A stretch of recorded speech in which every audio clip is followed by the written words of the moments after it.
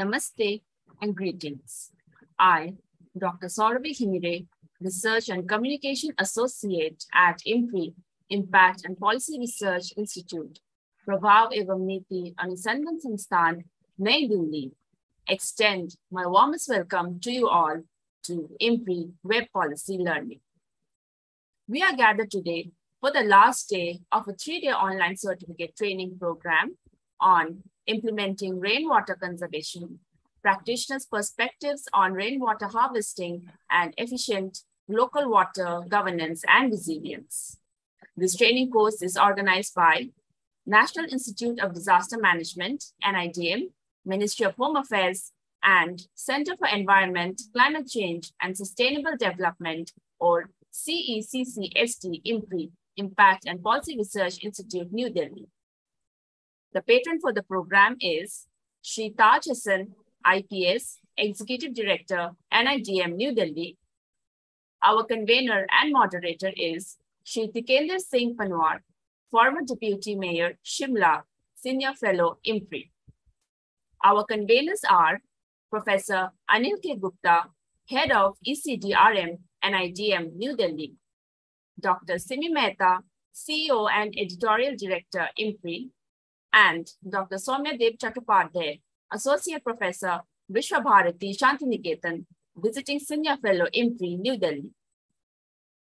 This course will be conducted by various expert resource persons comprising eminent academicians, journalists, senior researchers, and policy practitioners. The distinguished resource persons have great experience gained in the field along with their expertise. Our experts for today's training sessions are Dr. Sri Ranjan Panda, Panda and Professor Arun Kumar. Sri V.R. Raman unfortunately could not join us today because of illness and hospitalization. Our organizing team are Dr. Sweta Bedde Das, NIDM, Dr. Sauravi Himire, Utkarsh Divedi, and Divya, sorry, Dia Goswami, IMPRI. This three-day online training program intends to bring together professionals from academia, civil society, and the business and entrepreneurial sectors to begin a critical conversations about our times. The ultimate purpose of this program is to develop a group of practitioners for mainstreaming sustainable and affordable rainwater harvesting in urban India. We are very grateful to the NIDM team and particularly Professor Anil K. Gupta and his team and Tikender Panwarji for spearheading this timely training course on the topic of rainwater harvesting and local governance. I welcome all of you for this enlightening deliberation and thank you for being inter interested and putting your time, energy, and efforts in understanding emerging issues concerning the impacts of policies in disaster management and helping us to bring together the practitioners and participants to this course, which we believe will lead to a very fruitful, fruitful outcome. Before we start today's session, I would like to remind the housekeeping announcements once again. Please join the meeting on time. There will be Q&A session after each presentation. Kindly share the questions on the Q&A box. The questions must not be posted as an anonymous attendee and ensure that the questions are precise.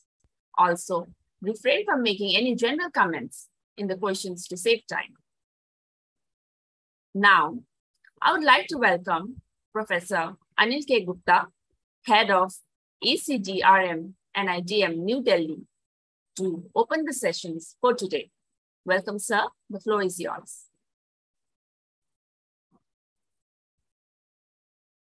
So thank you, Dr. Sarvi, for beginning the session. And my compliments to IMPRI team and NIDM team for choosing this very, very important topic. I am here in the cold desert of India, Ladakh. And in fact, today I'm also keeping little unwell uh, because of the weather uh, perturbations here. But it's a very important uh, discourse going on for this three days.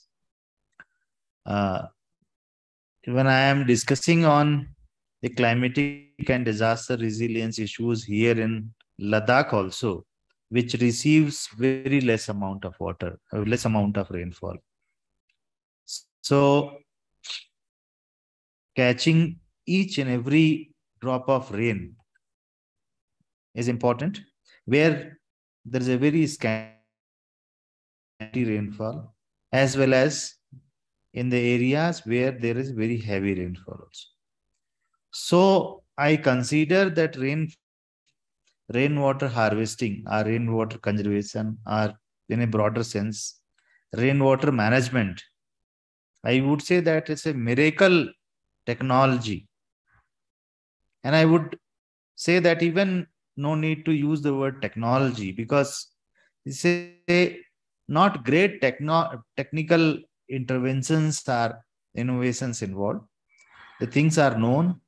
Only thing that how do we start practicing it, how we popularize it, how do we integrate into our developmental settings. Uh, most of the parts of the country, more, most part of the country, the cities have common problems like uh, few months we have the challenges of floods or waterlogging and later on we have the challenge of water scarcity and alongside that, we have the challenges of the disease spread and so, so many other aspects, including the impact of heat wave also. So rainwater harvesting cuts across several kind of disaster challenges and several layers of climatic risks. So this is a way most common and most acceptable approach, but still it's it's very very uh, long journey ahead to really popularize it uh, to be to be practiced in the ground at all levels we have very good examples of rainwater harvesting in india from the historical times also if we look at some historical monuments we find that rainwater harvesting has been implicit in those buildings or structures However, that knowledge did not continue. And that traditional wisdom also uh, got somewhere away from popularization.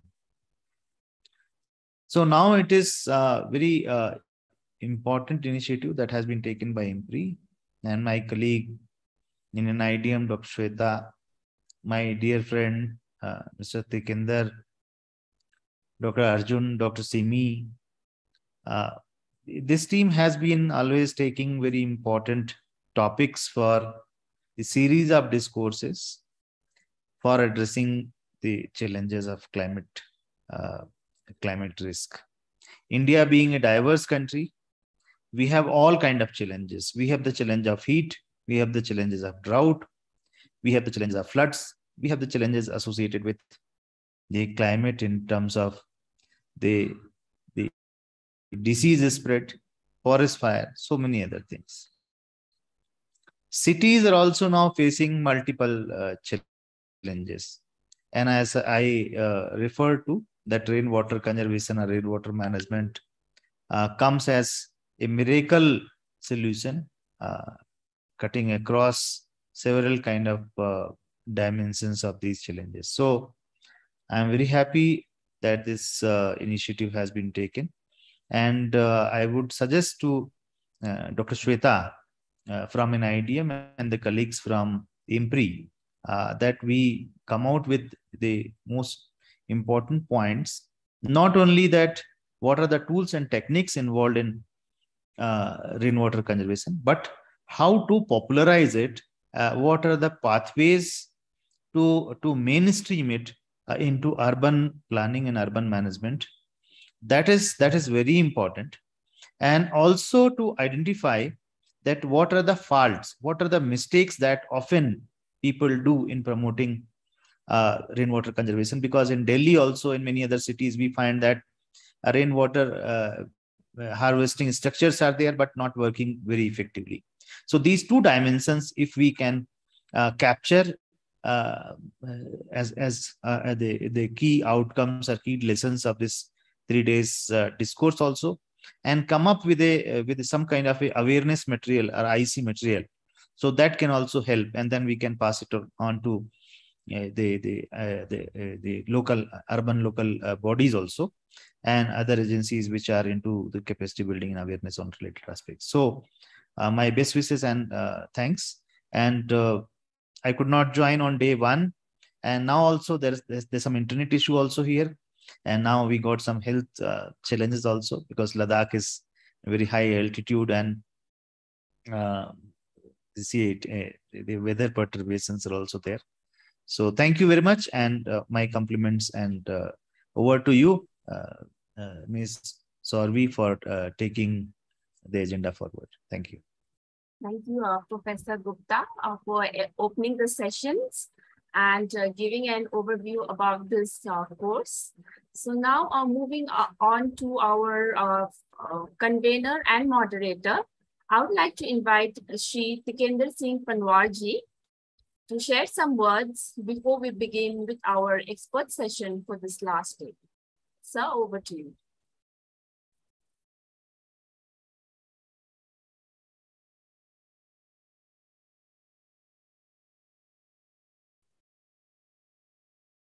Jitendra, sir.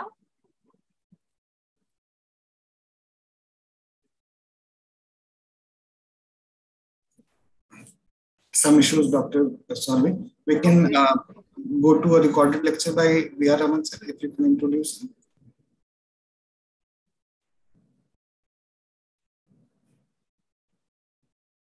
Just a second.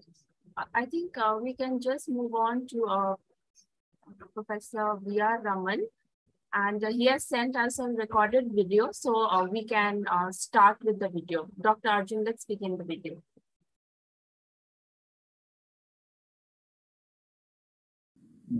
Being part of this.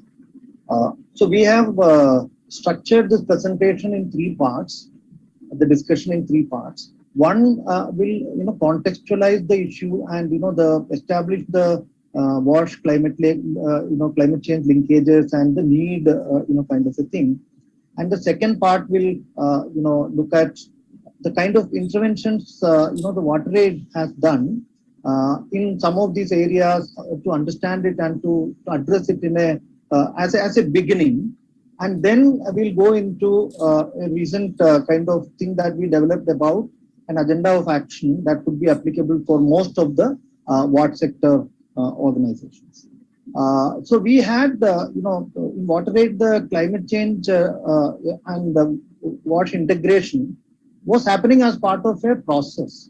Uh, when we were starting to work on, uh, you know, from a service delivery approach to a uh, rights-based approach almost a decade ago,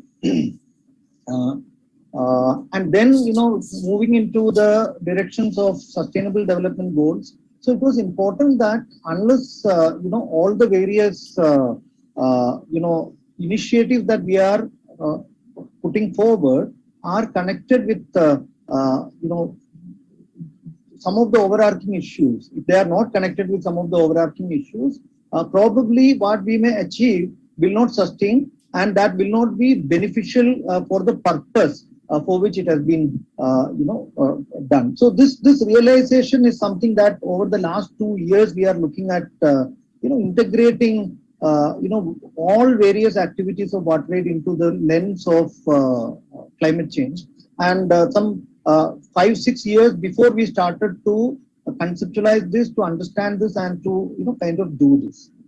So last year in uh, WaterAid India, we had uh, two major initiatives that was happening. One was you know to uh, put together uh, a uh, you know kind of draft approach paper, which further Amulya and myself you know we are working on it. One with Dr. Shivsena Reddy uh, Uh, supported us in uh, putting together some of the you know kind of details uh, on this and further we uh, you know are now working on it in the context of the strategy of WaterAid and overall a water sector organization's perspective.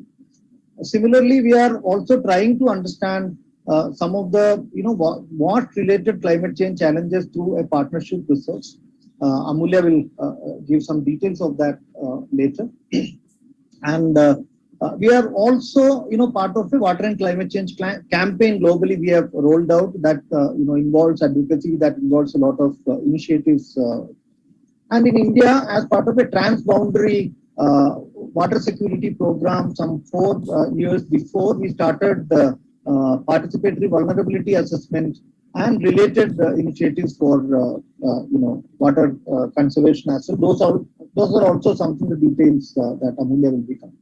So here, what I'm going to uh, do is to put up a brief context of uh, climate linkages of WASH. so first, you know, as we, uh, it is not just uh, uh mitigation, as uh, Indra has already told, it is also about building the, the, the kind of preventive mechanism and preparedness mechanism and the resilience in the community in addition to mitigating the risks of climate change in the water sector. So we one of the problem of uh, the narrative of the climate change is that. That is where I want to begin with. The climate change narrative starts from outside. This, is a problem. the problem is that we see it from the temperature and the temperature is something external to the place that we are living. I mean, although it is part of the uh, you know solar system or universe or whatever, uh, to the earth that we are living as humankind, uh, the uh, temperature uh, is something that we see as uh, you know flowing from outside. But you know we need to see climate change actually from an internal perspective wherein there are several factors that adds to the change of uh, temperature from outside which is you know related to our own kind of movements or advancement uh, as humankind which we call uh, under the development frame. So that is where the sustainable tag has been added to the development. How to sustain the development in a way that next generation can also uh, benefit it in a way that uh, we ourselves can uh, you know take the benefit of it in the, in the long run. So this understanding is missing. So that is where water becomes the core of uh, climate change for me. So if we see uh, climate change from the lens of water uh, that would make it more live than a kind of hypothetical understanding of climate change from the temperature perspective. So i would like to present uh, climate center of climate change as uh, you know water extending that to wash that would uh, you know uh, give more uh, you know kind of space and you know interventional opportunities for water sector organizations. So i'm a bit you know contextually and intentionally giving this you know narrative so the need of the paradigm shift from temperature to water The second part is that uh, how we are consum consuming water. So there is a fold, a fourfold increase that we are seeing over the last 70 years. And further 20, 30 percentage we are seeing as part of the urbanization. Uh, and uh, then in India, we have a lot of worries uh, uh, of the increasing disasters. Indra has already told about them. High frequency of the flash floods, uh, rain, rainfall events, droughts, heat waves, tropical cyclones, a lot of event eventualities are happening here. And uh, uh, access to water services has been eventually uh, impacted uh, because of this. And uh, if you look at uh, the another outcome of the health related morbidity and mortality, I'm putting up the indicator of mortality here. close to 11,500 you know deaths happened in the five year time just because of water related health uh, challenges. Uh, we call it waterborne diseases, but there can be something more to that. So I'm not including everything uh, as waterborne diseases. I'm putting a term as water-related challenges here, health challenges here. And then drinking water availability and environmental sanitation, including the efforts that we put up for solid and uh, liquid waste management, access to hygiene, all these gets affected uh, because of this. And uh, we need to also see uh, climate change from uh, you know a lens that it is a key and important component of uh, climate change adaptation and resilience even during the normal circumstances wherein the uh, challenges are not post and even post disaster situations so this is how uh, the climate change and uh, wash is related. So the impacts on what we can see that rapid urbanization uh, uh, you know, that leads to acute water scarcity and high demand for the basic water services. So uh, there is a uh, 55.2 percentage of urban population rise uh, that has been uh, projected by 2050 uh, with comparison to 2007. So this is something a very, you know, in, what you call considerable kind of instrumental kind of height. And there is a decreasing trend in the monsoon rainfall. The South India is now on monsoons. It is already two days delayed, uh, know, as per the uh, reports that we are seeing. So there is a uh, clear decline in the uh, you know, overall monsoon. And uh, groundwater uh, depletion is also one issue. We are extracting groundwater from aquifers beyond whatever could be recharged or you know refilled. That you know beyond that we are going. So you can see that two reports recently, one at the Central Groundwater Board and the other one at the Niti Aayog. Both of them are suggesting water stress is going up. The number of uh, administrative regions uh, that is affected by water stress is quite high compared to 10 years before or 20 years before. And then the land use pattern and the land cover pattern, that is also quite uh, significantly changing. That is also uh, becoming a reason for non-recharge of uh, uh, groundwater and aquifers. Uh, and urban infrastructure in this uh, is uh, adding more vulnerabilities because mo most of the land is getting covered. So that is another issue there.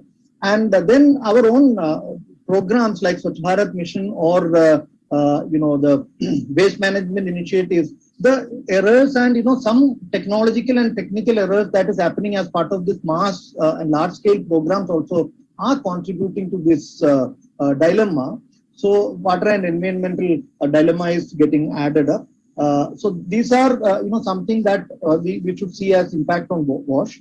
And uh, let us uh, see you know climate change induced disasters. What is the kind of impact? So we have mass migration that is happening of population because of floods or because of droughts. and similarly, decreased access to water services, lives are kind of uh, kind of you know we are losing and uh, property we are losing and uh, livelihoods are very heavily kind of affected and psychologically there's a lot of effects on uh, population and we have uh, purchasing power and production that has been increased and economic growth and development is continuously getting uh, hindered and there are clear political and policy implications for these as well so if we see that uh, uh, poverty and inequality are the key underlying uh, socio-economic uh, drivers uh, that uh, is going to increase India's climate vulnerability.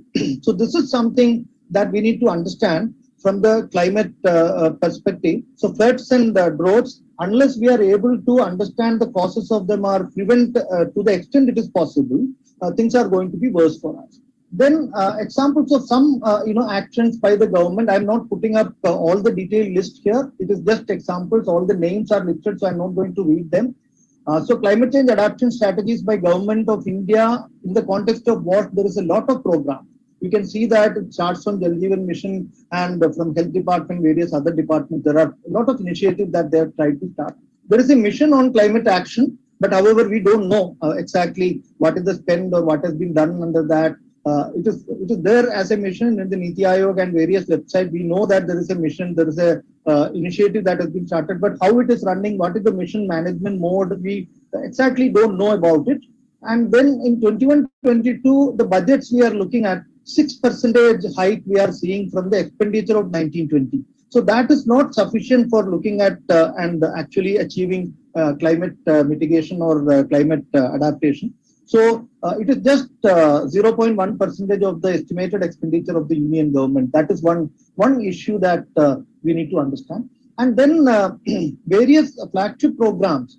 Uh, you know, there are uh, they are integrated through whether it is MGNREGA, NRLM, Urban Livelihood Mission, all that. but how much it is getting integrated is a question that we need to understand.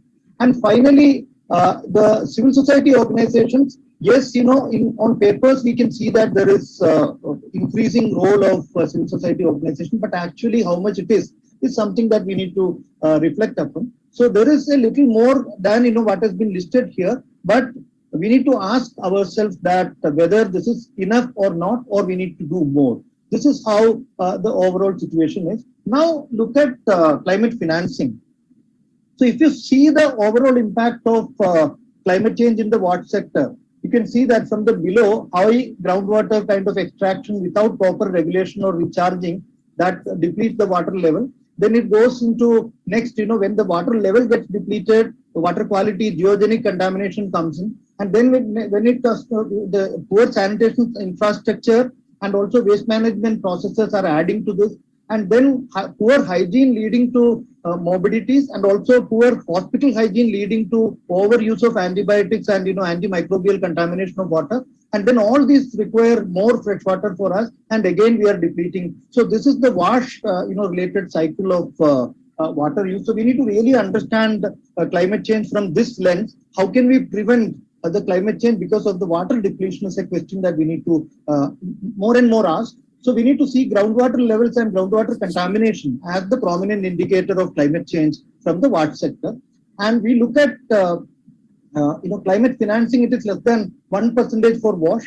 And uh, while, you know, we are seeing agriculture, industry, infrastructure development, etc., as the major contributors, we need to really see WASH also as a important sector here. And we need to argue and advocate for uh, better financing, uh, climate financing for uh, water sector. I'll now hand over to uh, Amulya for putting up some of the experiences and some of the initiatives that WaterAid has done in the uh, you know climate change uh, and wash you know that bridging kind of initiative that we have done over last few years. Over to Amulya. Thank you, Amulya.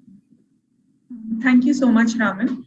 And uh, good evening, everyone. Um, thank you so much to IMPRI and to Dr. Indira uh, and also Raman for uh, giving me this opportunity um, and I'm glad that Raman has set this context straight uh, for this discussion. So I'm not going to dwell deep into that, but going to share a little bit about the works that WaterAid India has been doing in the past few years and how we are planning to approach and integrate climate change within all WASH actions that we are planning to take.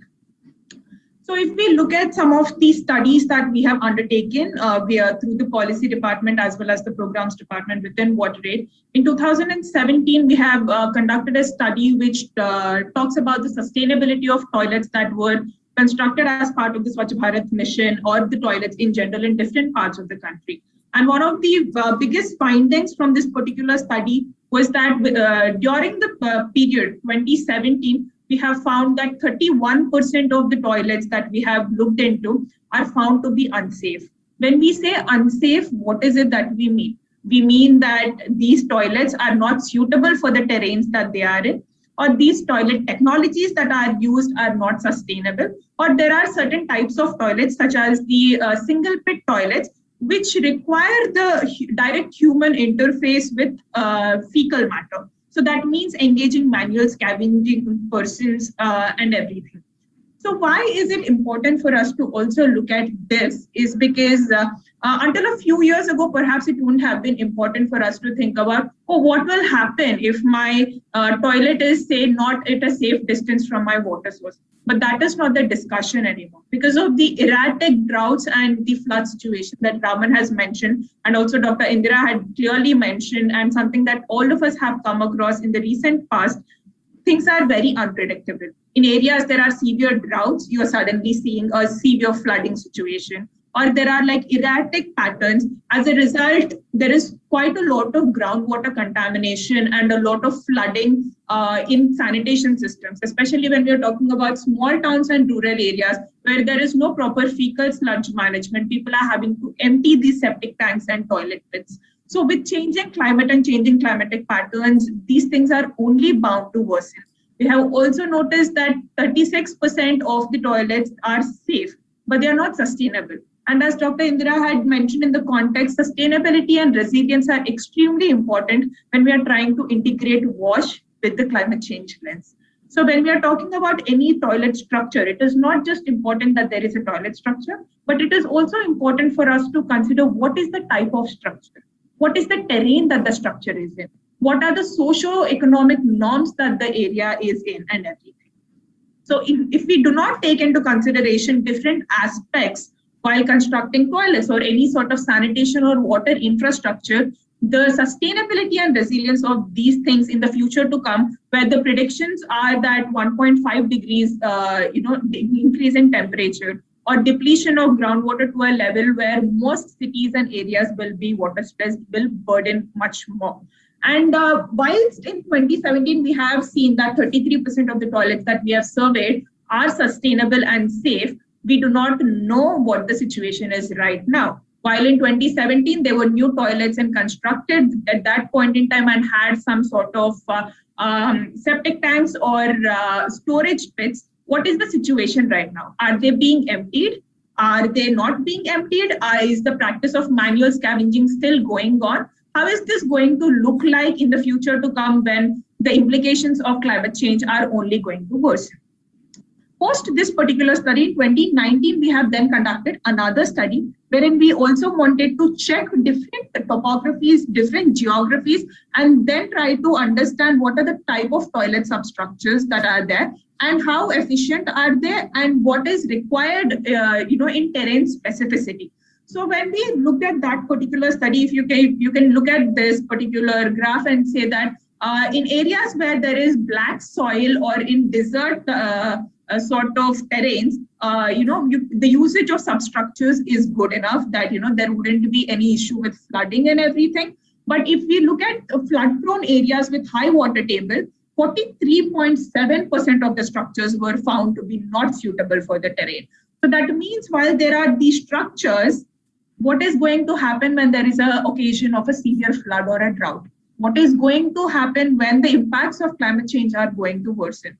This is something that we have started looking through as part of our studies is it's not just water or sanitation or hygiene, but whatever it is that we are looking at, we need to also look at it through the lens of climate change what is it going to look like five to 10 years from now and the impacts of climate change are only going to worsen? Sorry. So recently, after 20, uh, after our initial study in 2017 and then another study in 2019, in 2020 we have conducted another study in the small and medium towns across India, wherein we have surveyed 1,200 households, of which 80, 84.6%, a very high number of households have been told to have their toilet structure at a very unsafe distance from their groundwater, at an unsafe horizontal distance. That means less than 10 meter distance between where the toilet and its substructure is to where the groundwater source, their major source of drinking water is. Uh, of these households, only 40% of the households have reported that they have septic tanks. Uh, but and the remaining do not even understand what is underneath their toilet structure or what is going to happen or how ground, groundwater gets contaminated as a result of fecal matter.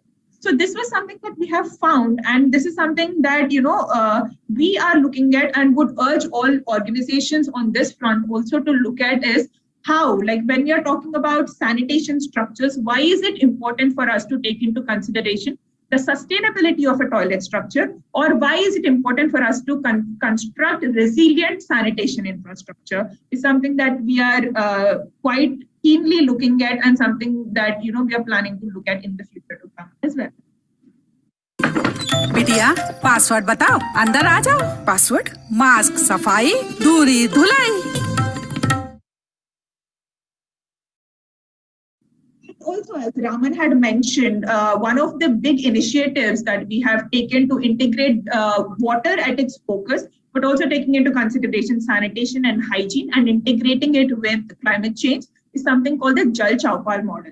Jal Chowpal is basically a democratic approach uh, for uh, and a water platform that integrates the communities, making sure that uh, uh, uh, you know people and the communities get a, a, voice and express what their requirements are, what their needs are, and understand about what is the situation within their village and how they can uh, improve their groundwater situation, as well as ensuring that whatever measures they are taking are climate resilient. Given that majority of the areas that we work in are either drought prone or uh, flood prone, it is important that we uh, bring that awareness within the communities as to why it is important for us to take care of our water infrastructure and also giving them a platform to express their grievances, express their troubles, express what is it that they want to do, rather than a top-down model. Jal Chowpal looks at, at a bottom-up approach, wherein we are trying to converge uh, different local governments with the communities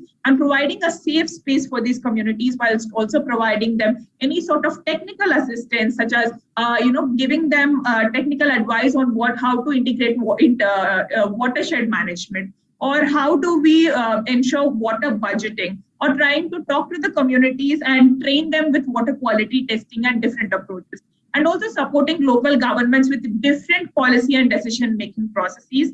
And uh, one of the big studies that we have done uh, as part of this is in banda district of uttar pradesh wherein uh, we have introduced this Jal Chaupal model in 435 different gram panchayats held uh, meetings with all more than 20,000 community members and brought awareness among them about the need for uh, safe and uh, uh secure water usage and water uh, storage and uh, conservation, as well as the impact of climate change that they have and how they could potentially manage and mitigate this.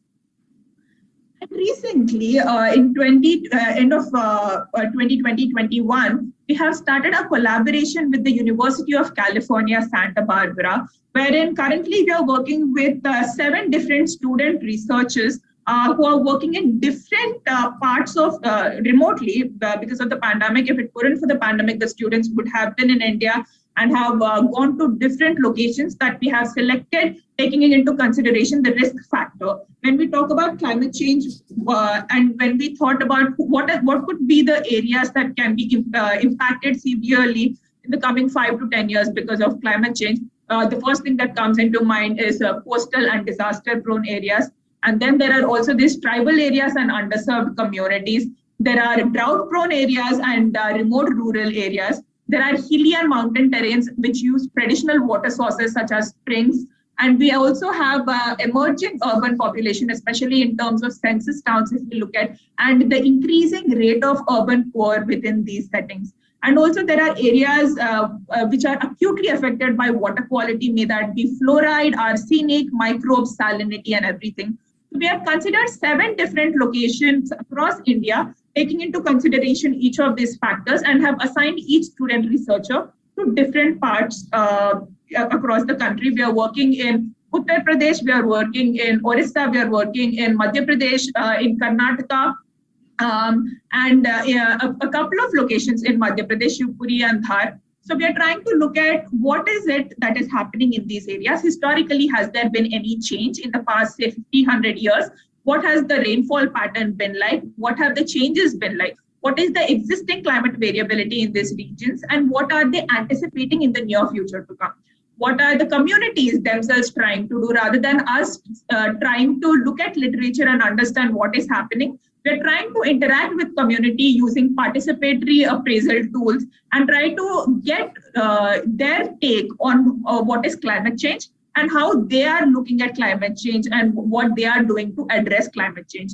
So we have a different case studies and stories that are developing at this point in time with a lot of lessons from the community-based adaptation and the practices that they follow. And also we are trying to look at what are the various drivers of vulnerability that are uh, keeping the most marginalized and the poor people at risk and what are the different policy and program level changes that we can take as uh, based on the learnings from this study moving forward and also how do we uh, form these synergies between uh, climate vulnerabilities local development needs and cultural aspirations whilst also focusing on the livelihoods of communities is something we are uh, trying to look at. And uh, so far because of the pandemic the uh, flow of the study has slowed down in the past two months, but in the next month or a month and a half, we are going to come up with a series of case studies wherein the students are going to present their uh, findings, and we are hopeful that you know these set of case studies will be a first step for uh, WaterAid and also for many more sector organizations for us uh, to effectively include water and climate change together, and also think about ways forward uh, with integrating climate change, sustainability, and resilience with WASH. Um, so with that, I will uh, give it again to Raman to discuss about the agenda. Thank you. So thanks. Uh, so one thing is, you know, based on all these experiences, we were trying to quickly put together a framework for action or an agenda for action for water sector organizations uh, both for you know uh, adaptation uh, of you know climate change initiatives, resilience, preparedness, etc., and also uh, you know kind of mitigation measures when something happens. what all can be the immediate thing that the water sector organizations can focus on these things is the question that we are trying to look at.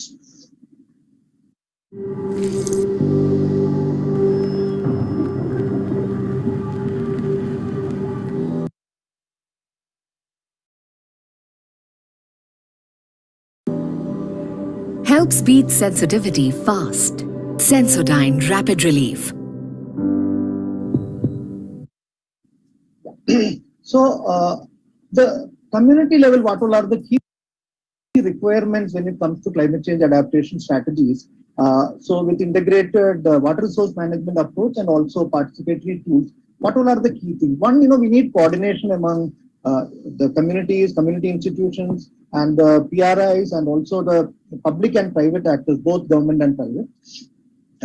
So then, you know, we need to have the dialogues and discussions, uh, you know, that process uh, need to uh, take place.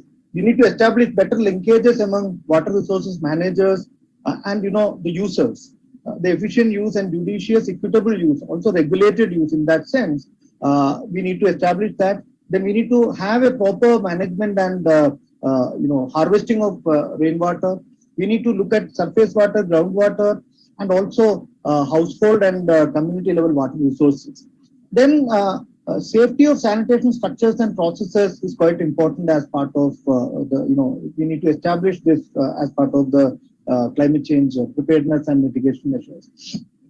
And then uh, there is one repetition here, so I'm not going into, sorry, so that was not removed. So then uh, recycle and re reusing of the water to enhance productivity uh, of water. And then uh, we need to also ensure that conservation and protection of the water bodies, uh, specifically in the urban areas, also in rural areas, and the liquid waste management related to that. The grey water uh, waste is not uh, going to the water bodies and contaminating it. And then finally, developing and strengthening various institutional arrangements and processes uh, for supporting these activities at the village level. So this is the broad requirement. Uh, the details are there. I'm not going into that. We are developing a document wherein you know all the details of this are further worked out. Uh, yeah. so then, uh, what sector organizations? What are uh, you know their roles in establishing or achieving this? One is first of all, like Amulya has uh, you know said about what we are doing with the various locations in India, seven locations in India. We need to really develop across India uh, on various uh, geographical and climatical and cultural contexts, all the various uh, uh contexts, we need to understand a very clear understanding of uh, water-related climate vulnerability, water-related, sanitation-related, and wherever hygiene is applicable, hygiene-related. And then uh, what is the kind of direct or indirect impacts of that? about access, and uh, livelihoods and also resources and supplies. All this we need to understand from the climate change lens. And then uh, based on this understanding, we need to uh, plan a kind of potential preventive actions, which should be integrated with the ongoing wash action. It's not a standalone action that I'm suggesting. So uh, all, you know, this should be equitable and uh, sustainable manner with reference to various WASH programs. So all the various programs which are going on at the community level, all the new program that the civil society is initiating, how to make it uh, based on this understanding, building in and integrating the climate, uh, you know, understanding in that. And then mainstreaming the climate change lens into all areas of WASH action by way of capacity building, multi-sectoral integration approach, keeping the PRIs at the center, and uh, conducting dialogues between various actors and various types uh, uh, of actors and various levels of actors. I mean, this is quite important. There are types of actor and there are levels of actor. We need to involve all of them. And uh, then ensuring and augmenting uh, generation of local data, not from a top-down approach of monitoring, but from a local use perspective of uh, data. This is quite missing. When we were trying to prepare the paper, one of the major realization is that unless and until civil society initiates, we will not have proper data for any of these things. So civil society has a major role because I am not uh, thinking that in the current way, uh, unless the civil society and uh, people are initiating data, the accountability of the uh, administrative structures are there. We should stand for it. But you know, the history is uh, suggesting that uh, we will have to also parallelly develop uh, data. And then uh, finally, development and use of technology to leverage these processes. And uh, coordination support to the state actors uh, at various levels. And finally, research and advocacy, both for uh, program design changes, policy changes, guideline changes, etc., and also for financing. So this is something that we need to ensure at the uh, you know uh, what sector uh, civil society organizations agenda. So based on this, we are trying to develop a framework and on each of that component of that framework, sub-components of action, how to do that, that kind of a framework we are developing. And uh, for that, if we have to ensure that there are some conditions that we need to ensure, that is what is the last slide about. So one is existing and new policies and schemes uh, on what should emphasize immediate as well as long-term uh, climate change uh, connections on that. And uh, significant investment in learning and innovation is needed uh, for the both education on climate integrated wash and also on behavior change related to climate integration and wash. And then we need to ensure that uh, climate uh, change induced uh, multi-hazard perspective we need to have in what program components, whether it is disaster management, whether it is various other initiatives, we need to bring in that and promoting a bottom-up approach pertaining to water and climate change. And finally, data, uh, real-time IT and GIS-based uh, kind of uh, data systems we will have to initiate. And then every point in what policy decision making, we need to include climate change perspective there and uh, uh, identifying, protecting and supporting vulnerable geographies and populations are very important. So we need to have measures for that. And financing is uh, one of the other important conditions. And finally, uh, we, we will have to, for the civil society, the last point is about civil society. For the civil society also, there needs to be sufficient funding for cli climate-centered WASH action. So this is where uh, this uh, kind of a framework can be operationalized so with this, I think uh, we have covered the, the uh, you know outer layer of or or the uh, macro details of what should be done. The micros are missing. Uh, the micros needs to be added, uh, but you know that we can probably add while uh, through some workshops or you know some action oriented workshops in the future i hope you know this discussion would have you know given some you know understanding of how the climate change could be ground based rather than uh, you know, temperature based and how can we, uh, you know, reorient the wash action from the climate change premises and how to change the narrative and how to shift the paradigm. Uh, we probably have some ideas to begin with, we hope, and thank you so much.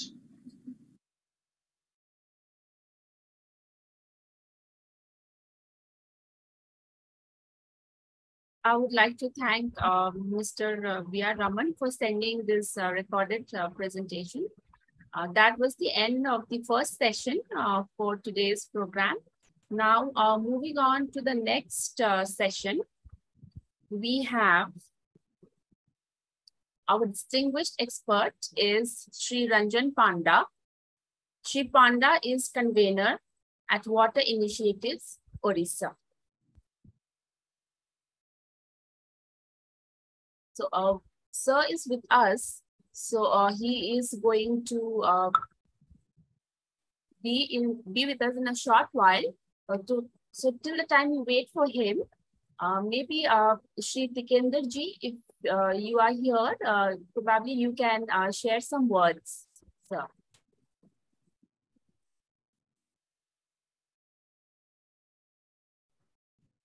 Mr. Panda is not there. Sorry? Sir, he is joining. He is joining with us. I think he's going to take some more time, two, three minutes. Yes. No, I think I'll wait. Uh, I mean, uh, we do not have any fillers right now. I mean, is there, or can we take some Q and A's? Probably I'll just uh, sure, sir. Q&As. Yeah, that will be better. Yeah, go ahead. Dr. Sangeeta Saxena ji is asking, safe water and uh, climate change go hand in hand to make I don't there is some mistake here. How can uh, how can we make things less vulnerable and how can we save lives? If there is a connection between uh, water and climate change and it goes hand in hand, so her question is how uh, how can we uh, work towards the betterment in order to like uh, save water? I think that is the question. I think uh, uh, there is a very alarming uh, picture that has come up very recently. Oh, Pandaji is there. Let, us let's, let's uh, है अरे बहुत खुशी हुई आपको देखकर चलिए virtually सही सामने नहीं मिल रहे हैं हाँ, हाँ, आप हो गया आप बढ़िया आ गए और फिर हम सवालों पे करते हैं Thank you, thank you. Please, please go ahead. I think uh, Dr. Sauravi just uh, sure, sir. Go ahead and ask. Okay, sir. Ask, yeah. So uh, our uh, distinguished expert for the second session is Sri Ranjan Panda. Sri Panda is convener at Water Initiatives, Odisha. We welcome you, sir, to this program. Kindly take over the session. Thank you. Thank you so much, uh, Dr. Sauravi. I'm sorry, I just, I think I was just on time. Uh, had some issues with my internet. So uh, yeah, thanks for inviting me to this uh, uh, training program. And, you know, as as everybody knows, you know, this is more about water harvesting. And all the experiences India has is very vast. And uh, of course, you know, with its 10 uh, geoecological regions, India has, uh, you know, different kind of experiences and issues and challenges. So what I will try to do within this time frame provided to me is actually to take you to a bit to the general issues, the larger issues, and you know uh, what makes uh, water harvesting so important for Indian context or, or local context wherever you are in India. And then we'll give some examples from, uh, uh you know, our direct uh, interventions.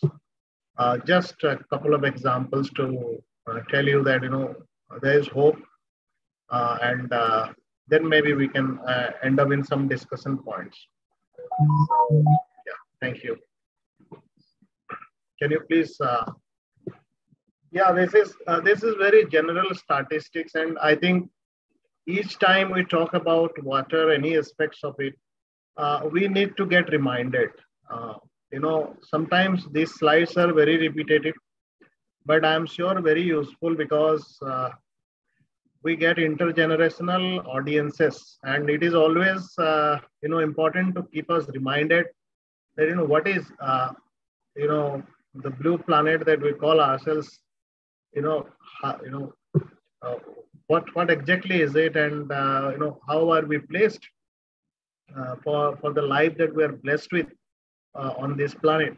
So it's like you know, if Earth was the size of a basketball, for example, all of its water would fit into a ping pong ball actually. So that is that is exactly what we have for at our disposal so uh, in, in a blue planet, we should not be very proud.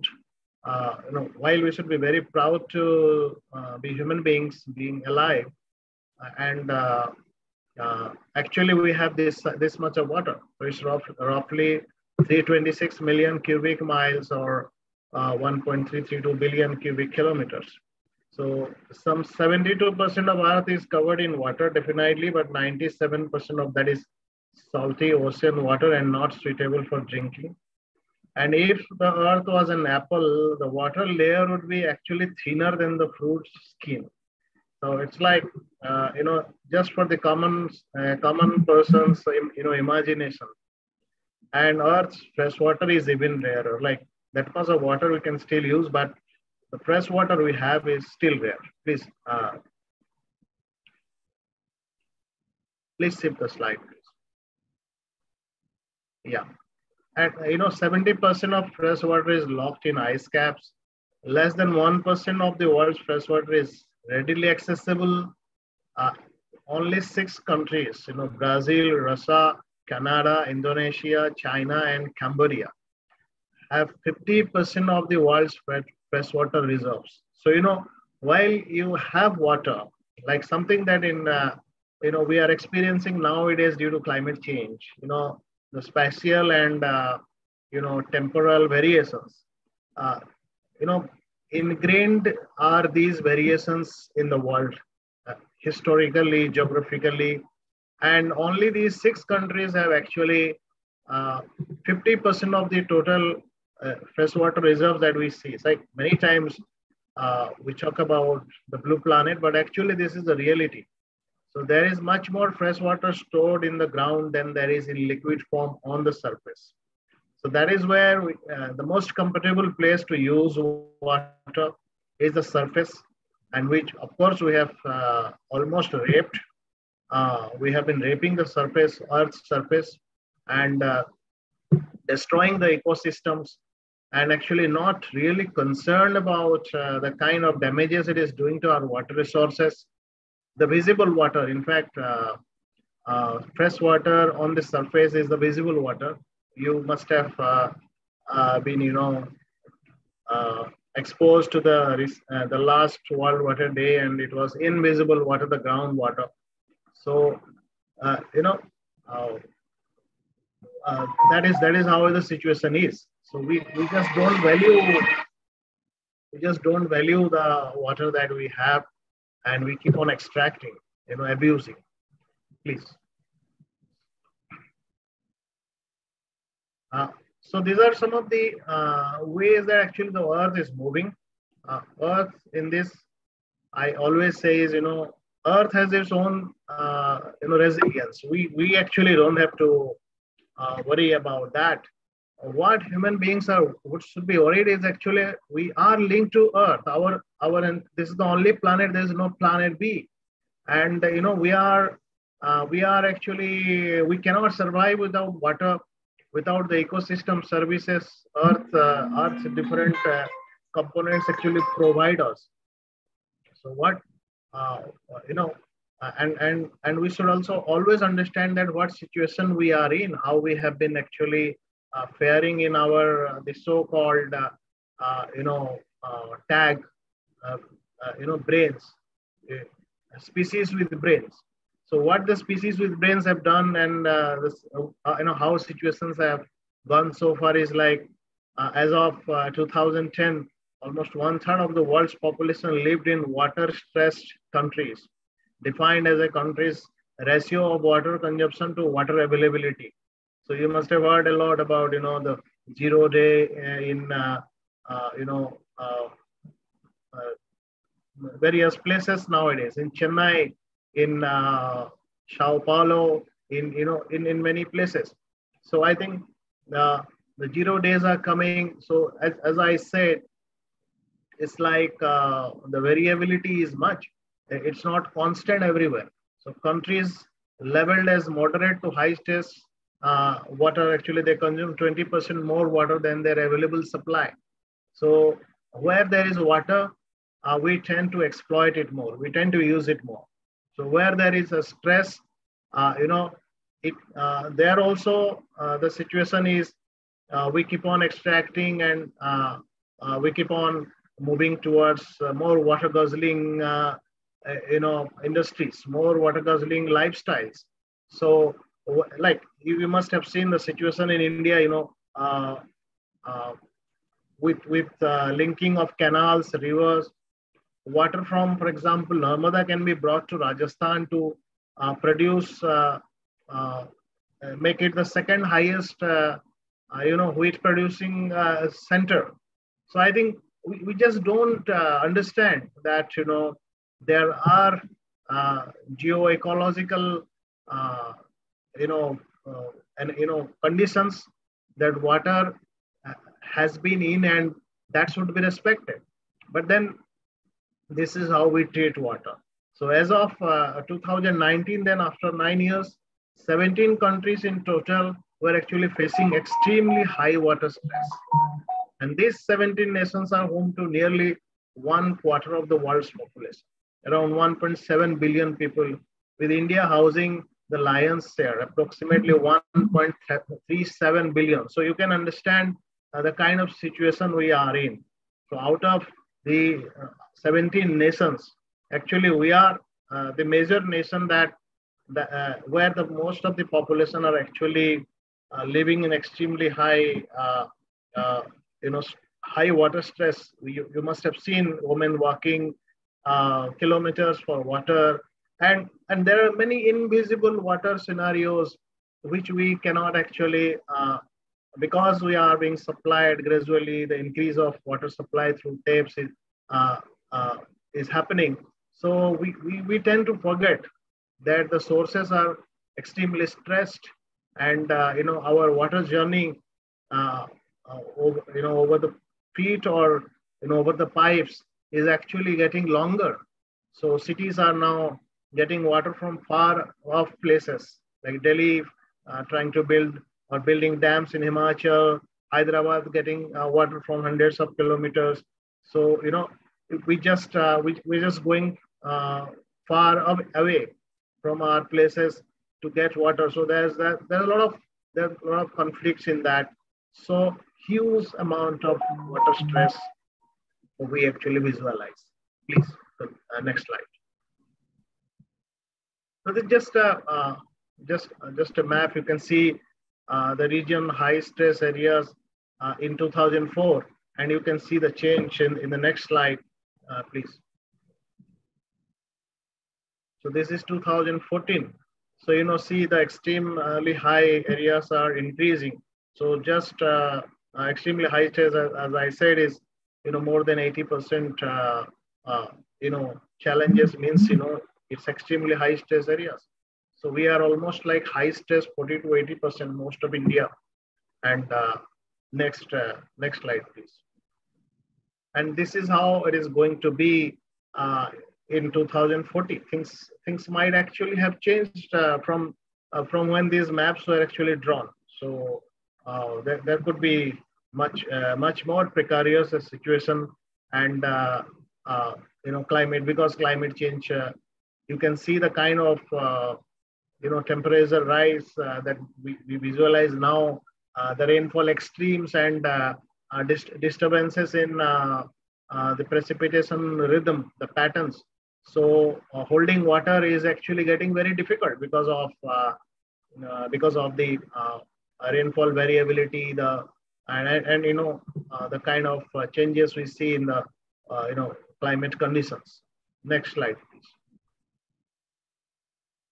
So it's like water, water going away, and global consumption of water is doubling every 20 years, more than twice the rate of human population growth.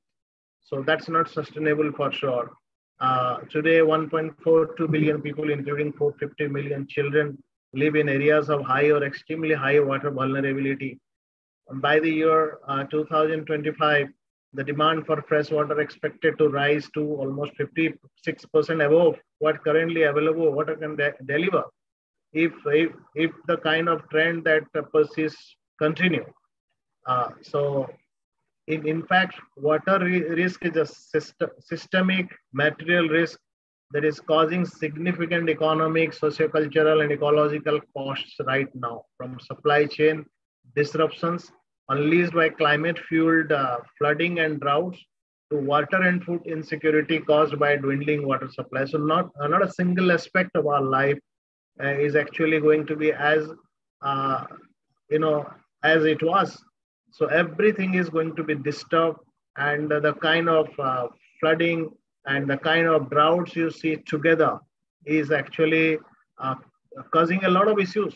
We, we, we will come to that, how, how difficult it has become to actually harvest water, to recharge groundwater, and actually to uh, maintain the kind of food uh, chain that we, we used to have. So kind of a lot of projections are coming, which are, uh, which are actually disturbing, which are uh, actually leading us to a disastrous future. It's already already wreaking havoc on uh, lives of billions of uh, you know vulnerable communities. Next slide, please.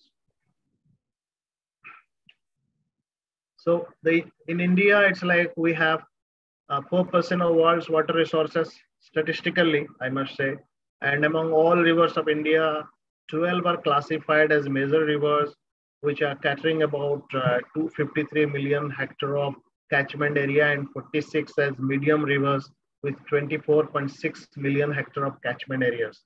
The, the Ganges Brahmaputra Meghna system is the largest river system in India and of course in the uh, entire you know uh, you know Himalayan region is largest river system in India with 43% of the catchment area of all major river systems.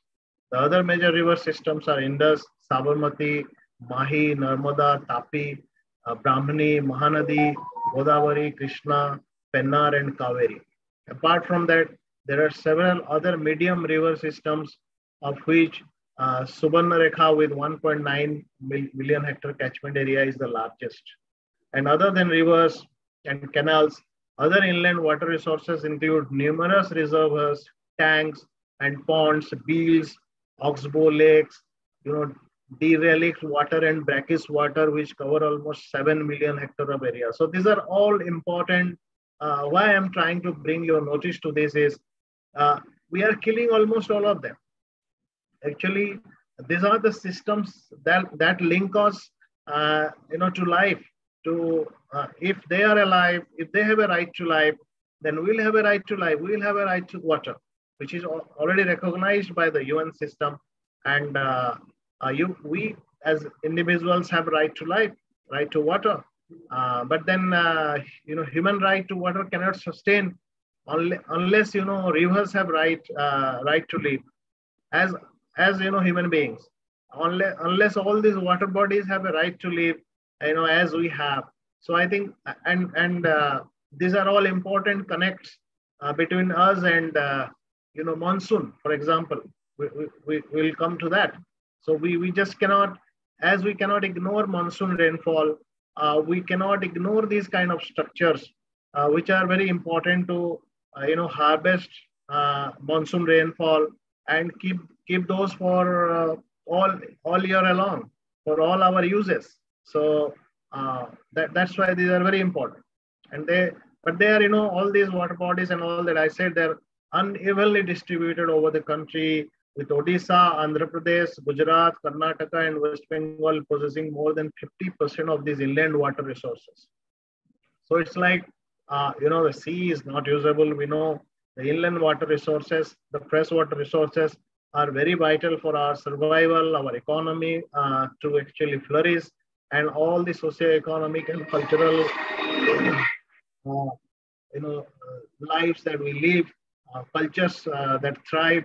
So we we we also have uh, we don't have a uh, you know even distribution of these resources anyways and and but of course everywhere you know socio socioeconomic and cultural aspects have actually been groomed by these water resources civilizations have survived and uh, been developed on uh, river basins and uh, cultures have thrived on uh, water bodies so i think i think these are very important aspects yeah please And now, as I said, monsoon is our actually lifeline. And that is where the entire concept of water harvesting comes. Like catch water where it falls is something, a slogan we heard from our gurus like, you know, Anil Agarwal from the CSE and Anupam Mishraji, who, who were the champions in India and, and many uh, local, uh, you know, heroes. They have been the champions for centuries. So I think uh, uh, why monsoon is so important. Monsoon, in fact, I, I used to say, you know, uh, you have to uh, respect monsoon if you actually respect your life uh, in India. If you respect, uh, if you expect your economy to grow, uh, so it's it's it's everything. Uh, so monsoon precipitation has been the lifeline of India with respect to agriculture as well as recharging its water resources. India receives about 4,000 billion cubic meter of average annual precipitation along with snowfall, of which 3000 BCM is received in the monsoon season alone. So that's June to September. And the spatial distribution of precipitation widely varies. That's, that's the worry. And that's why we don't see the similar kind of, uh, you know, water availability, structures, and, you know, and uh, lifestyles and uh, cropping patterns. So we don't, we don't see uniform styles everywhere because uh, there are there are spatial distribution, uh, you know, uh, of you know the special spatial distribution widely varies. So somewhere in Rajasthan, it's like less than 100 millimeter. in in Assam, it's like more than 2,500 millimeter. So between these, you you have uh, Cherrapunji, you have uh, Odisha, and you have many other places. So, uh, and there are there are you know places in Gujarat, there are places in Rajasthan. All these receive very less rainfall. So less than 50% of the total precipitation flows to the rivers, and it is estimated as 1869 BCM. However, only 690 BCM surface water resources can actually be utilized. So, uh, so you see, uh, the amount of rain we receive, we cannot utilize them because it, it, there are there are many factors that determines how much water we can actually hold. It depends on how much structures we have. Depends on you know what kind of vegetation cover we have where the water falls, uh, so that uh, you know the percolation happens to groundwater. Depends on the kind of heat uh, you know that uh, that the geography experiences, so that uh, you know the evaporation uh, le- level is you know the kind of you know evaporation level that is there, and and many other factors. So so we, we cannot actually uh, use all the waters that we see. Please next slide. And uh, something very important that we see India being you know the uh, the largest ground extractor of groundwater in the world. So and uh, uh, our surface water bodies are uh, the conduit to actually recharge groundwater along with forests and of course the soil. You know, so groundwater is a replenishable but highly stressed resource. We know that agriculture, industrial, and domestic sectors majorly depend on groundwater. Annual utilizable groundwater resources in India is assessed at almost 433 billion cubic meter. The main source of groundwater is a recharge from monsoon pre precipitation. And that is where lies the key uh, when we are talking about water harvesting, when we're talking about the surface water bodies that we will uh, come in uh, future slides, you know, uh, that is that is exactly why uh, you know water harvesting is very important. So you do it uh, uh, with artificial recharge, you do it with natural recharge, the the spread, spread effects, but but then you know you must do it. You just cannot avoid it. So about 58% of countries' annual rechargeable groundwater is contributed by monsoon rainfall. So, uh, and that's exactly, you know, is a worry at the moment because, uh, uh, you know, the uh, uh, the climate climate change impacts are in, fact you know, disturbing the monsoon patterns, and and that also is making uh, you know water harvesting and recharge much more difficult. Then other sources of recharge seepage from canals, tanks, ponds, and other water structures, and you know irrigation account for for about 32%. So there are also new ways nowadays of uh, recharging groundwater. So, uh, but then everything is linked, sorry, linked to monsoon, and without uh, uh a proper mon- without harvesting monsoon water properly, we just cannot uh, survive. We just cannot uh, make our ground groundwater, you know, healthy both in quality and quantity. Same with surface water. Next slide, please. So, uh, so this is where uh, you must have already, uh, you know, listened to a, a, lot of experts on climate change. So, you know, special and water, spec, you know, spatial variation mismatch across the nation is a big problem that, that I have been saying. You know, while as per the international norms, countries with per capita water availability less than 1700 uh, you know cubic meter uh, per year is categorized as water stressed with per capita available water of 1545 cubic meter india is def definitely water stressed uh, countries uh, i think uh, studies show that the projected per capita water availability will become 1401 cubic meter and 1191 cubic meter by 2025 and uh, uh, 2050 respectively. And eventually India is likely to become a water scarce country. So, but then, but as I said, there are many areas in India which are already severely water stressed. It's, it's not uniform. So India geographical, uh, you know, on an average statistics, it might uh, still not be called a severely water stressed country. But then I think almost uh, in many places of India, you see uh, water stress is actually increasing and severely uh, water stressed areas are actually growing. Please next slide. So it's also not a very new map. I think things would have changed, but still I thought I to show it to you. So 54% of India faces high to extremely high water stress. So I think this map is uh, very, uh, you know, almost one decade old. But then I think now situation has uh, hasn't improved a lot, despite of many efforts. Uh, we are still facing, and also due to climate change, uh, things have become worse. Next slide. Uh, you know, water actually is the climate emergency. You know, water is not just conditional to life, but also the conduit to climate change. Climate change has disrupted the water cycle as we, we have been discussing. Close to 200 districts in the country experience both flood and drought in the same season. So you have extreme precipitation events, you know, almost 50%, 40% of the entire year's average rainfall falling within 24 hours in an area. Then the next uh, day there is no water because all that has been uh, actually drained into the sea. So uh, 3.6 billion people across the world uh, live in areas that witness water scarcity for at least a month in a year. And uh, by 2050, this number would rise up to 5.7 billion. But in India also, it will be a fair share of people. Yeah, next. And this is a map I took from uh, the Down to Earth magazine. This shows how uh, the vulnerability, uh, you know, the cumulative vulnerability due to climate change uh, is actually going to impact and, and more uh, that, that makes water harvesting more so important. Yeah, next uh, slide.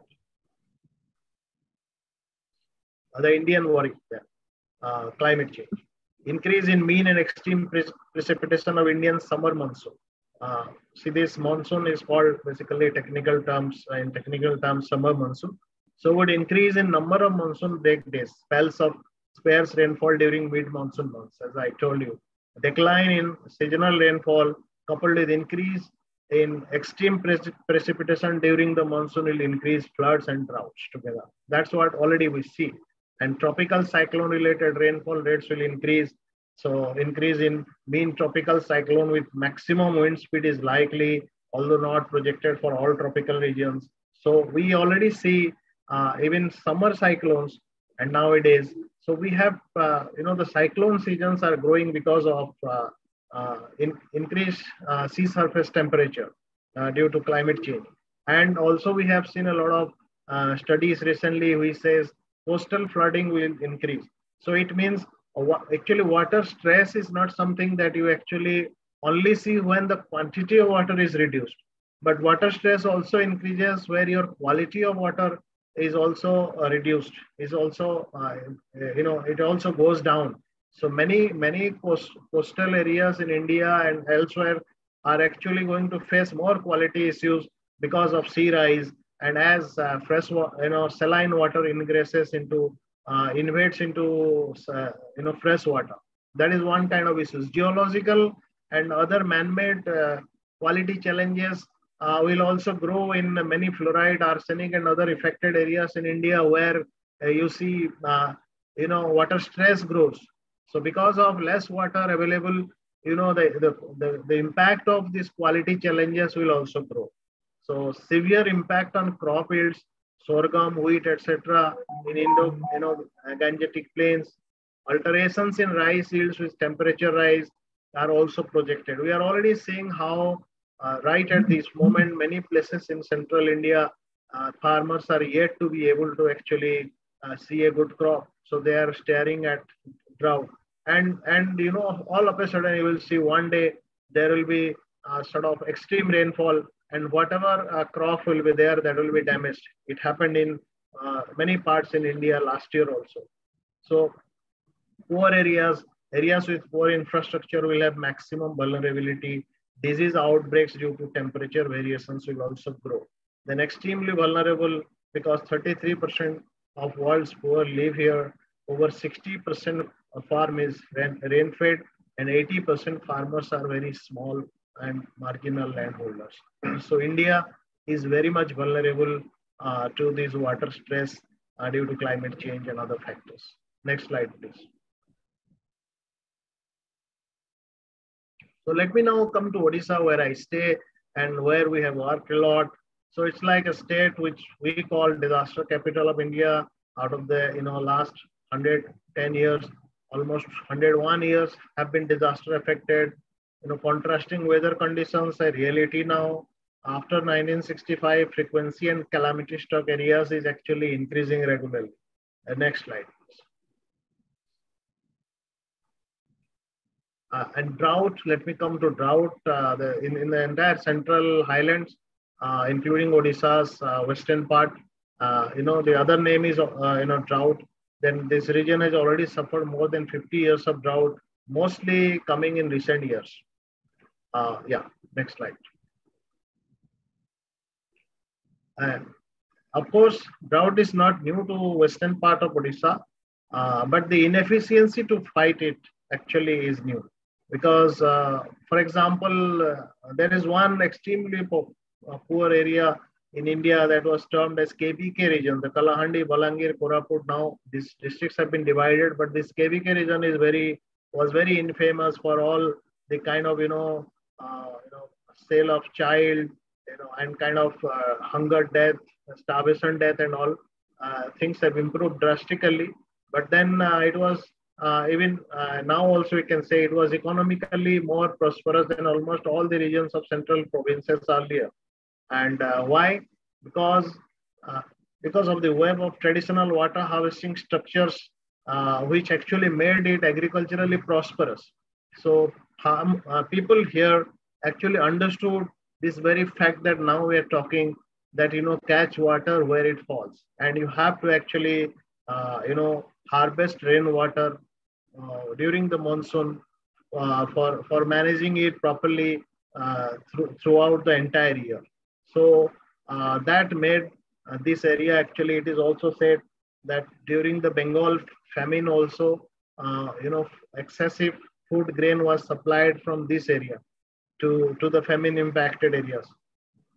So now a region which is known as drought prone almost uh, regularly was actually an agriculturally uh, prosperous area uh, thanks to uh, thanks to water harvesting culture. Uh, please. What actually happened, we must understand, you know, understanding rainwater harvesting and the policies, we should also understand, you know, uh, why India actually came to this uh, this pass and why uh, regions like the western belt of Odisha in the central highlands actually came to this. Because after independence, uh, uh, you know, we did not recognize the traditional practices anymore. Even even uh, when the Britishers came and the concrete engineering, you know, dominated the water management policies and practices. So I think the local practices were not recognized. So people lost their own faith on their own systems and and uh, knowledge, and that's the reason. Uh, and and there are also legal things. Many community structures were transferred to government. Then uh, uh attention shifted to large and medium modern irrigation projects, including big dams. So it was thought that you know the government will uh, make some big dam somewhere and provide water everywhere. So people were uh, sort of uh, people thought there was no need to actually have these structures anymore. So many rich farmers, because land, uh, you know, land ownership is very skewed in in many parts of India because as, as, I told you, 80% of farmers are actually small and marginal landholder. The rest of the land is actually with big landlords in many parts, including this KBK area. So many of these rich farmers they earlier they had uh, actually generously uh, uh, made uh, this kind of water bodies for all people to be benefited.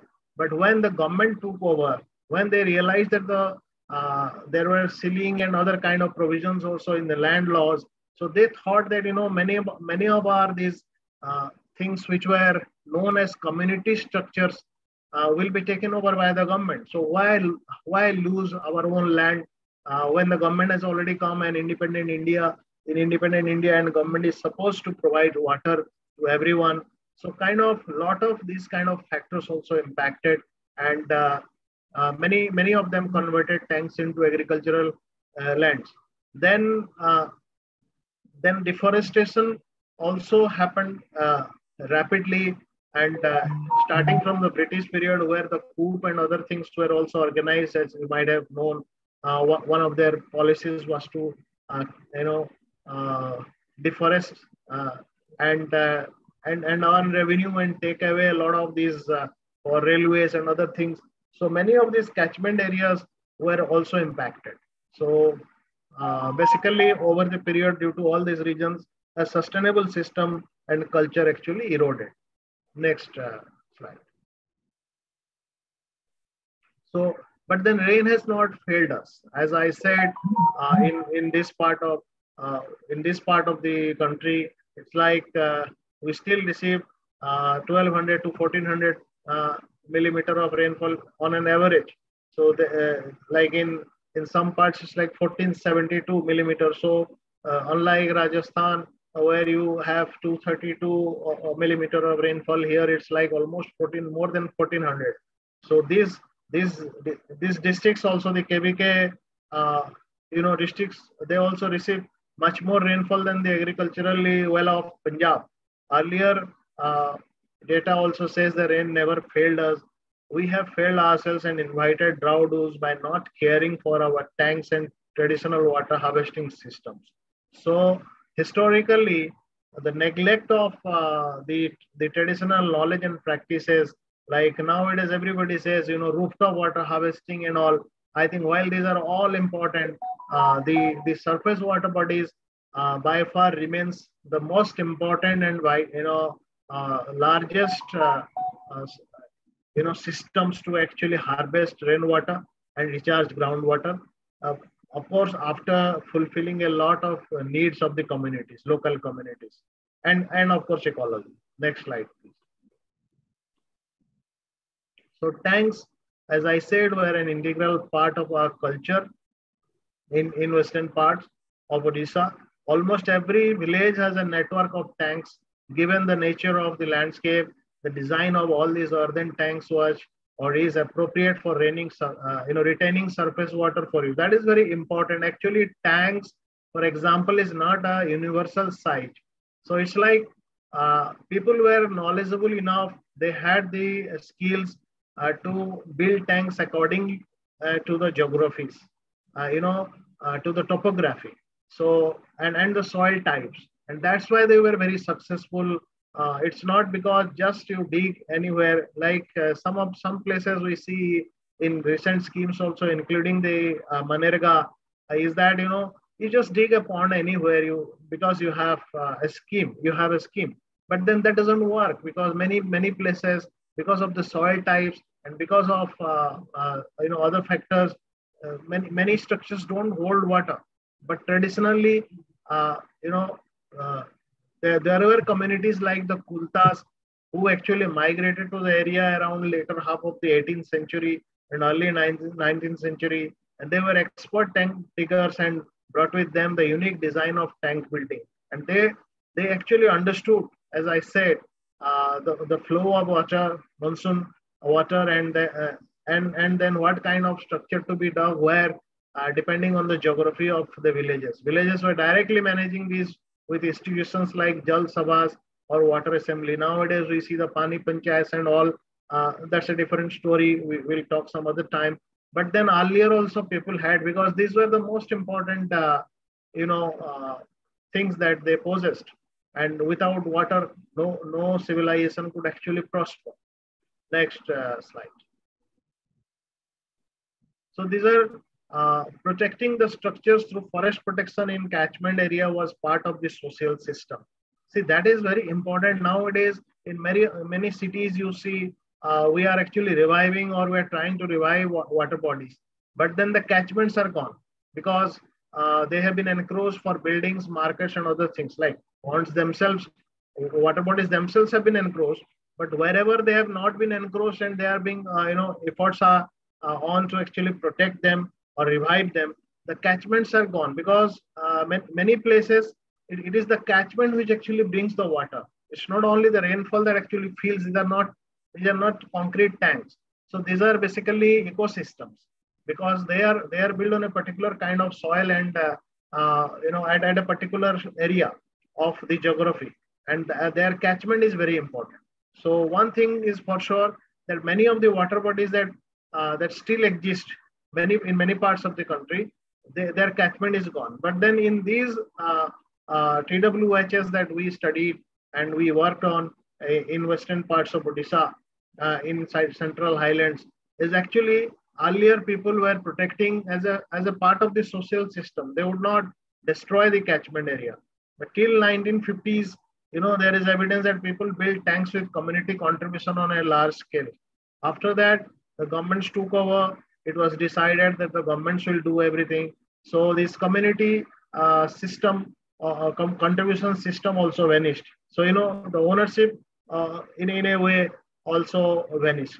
So I think, uh, or degraded. So I think that is that is where a lot of problems lie. Using elaborate systems of you know these are different kind of structures i'm i'm not going to details but these all uh, mudas katas chahlas bans chuas these are kind of structures and there are many sir and and there are many kind of structures that, that we have we find still we find some uh, some in relics and some in active.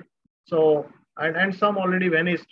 So i think uh, they were uh, you know able to irrigate there we have made some comparison like uh, this is not very fresh, but then uh, during our study, uh, you know, in, in only one district, according to a survey, the irrigation coverage has gone down from 52% in 1950 to 20% at present. So it's like earlier with, uh, of course, population and other uh, uh, factors are there that has not been integrated. But, you know, the, the percentage of irrigation, just one indicator, if you see only one indicator, uh, due to the degradation of uh, these water bodies uh, and due to the dependence on the, the irrigation facilities provided, like in, in some pockets only. So I think the irrigation percentage has gone down drastically. So that is what the damage has been done to this extent. Next. So there are many causes, as I said. Uh, it's not only the uh, government change and, and you know uh, the change of guards um, but then deforestation has led uh, to the uh, then uh, larger concentration on flow irrigation as i said uh, attention uh, is more on flow irrigation. So these are actually in many places irrigation survival sustenance irrigation. Actually in many of these tanks because we are in tropical dry deciduous areas where actually temperatures go up and many tanks would not actually be holding water during summer. But then they have the necessary you know many of them would be having minimum water uh, necessary moisture content and and uh, uh, sufficient to provide uh, you know su- sustain uh, some of the crops during uh, during monsoon during the kharif and also in some places some alternative crops not not paddy during rabi you know then societal issues as I said, uh, there could be several kind of issues. The lack of interest in carrying forward the traditional knowledge. The young generation basically is no more interested in uh, this kind of uh, knowledge systems or uh, tank digging has become a machine act of machine and uh, local knowledge uh, is that we have failed in actually integrating technology and traditions in many parts. We are, basically revival is being tried at the moment by some uh, you know sectors by some actors but then uh, still it's very very small effort so change in farming systems and methods. Because of uh, a lot of emphasis on after green revolution a lot of emphasis on you know water guzzling uh, water intensive uh, farming systems. Uh, these traditional systems were actually they they were not leading to water intensive crops. They were uh, you know uh, like paddy would be the staple but then uh, there will be the other uh, there will be crop di- uh, diversification which actually now got mono uh, the monoculture was basically promoted in most parts after green revolution after flow irrigation was provided so these are also some of the issues that led to the degradation yeah next slide Uh, but then there are hopes. There have been efforts. This is uh, this is something uh, we you know it's Vijaypur Kata. It's a large water body of 250 acres. It was actually built early 1800 to be specific by 18, by the local landlord. Uh, he, he actually tried to shift the entire village to an area where he built a water body because the earlier village they were staying did not have any water. So he decided uh, to bring, uh, you know, uh, uh, pond diggers from outside who, who basically found out a place where water will be actually, there will be proper water uh, if we, we dig a tank. So this is one uh, example.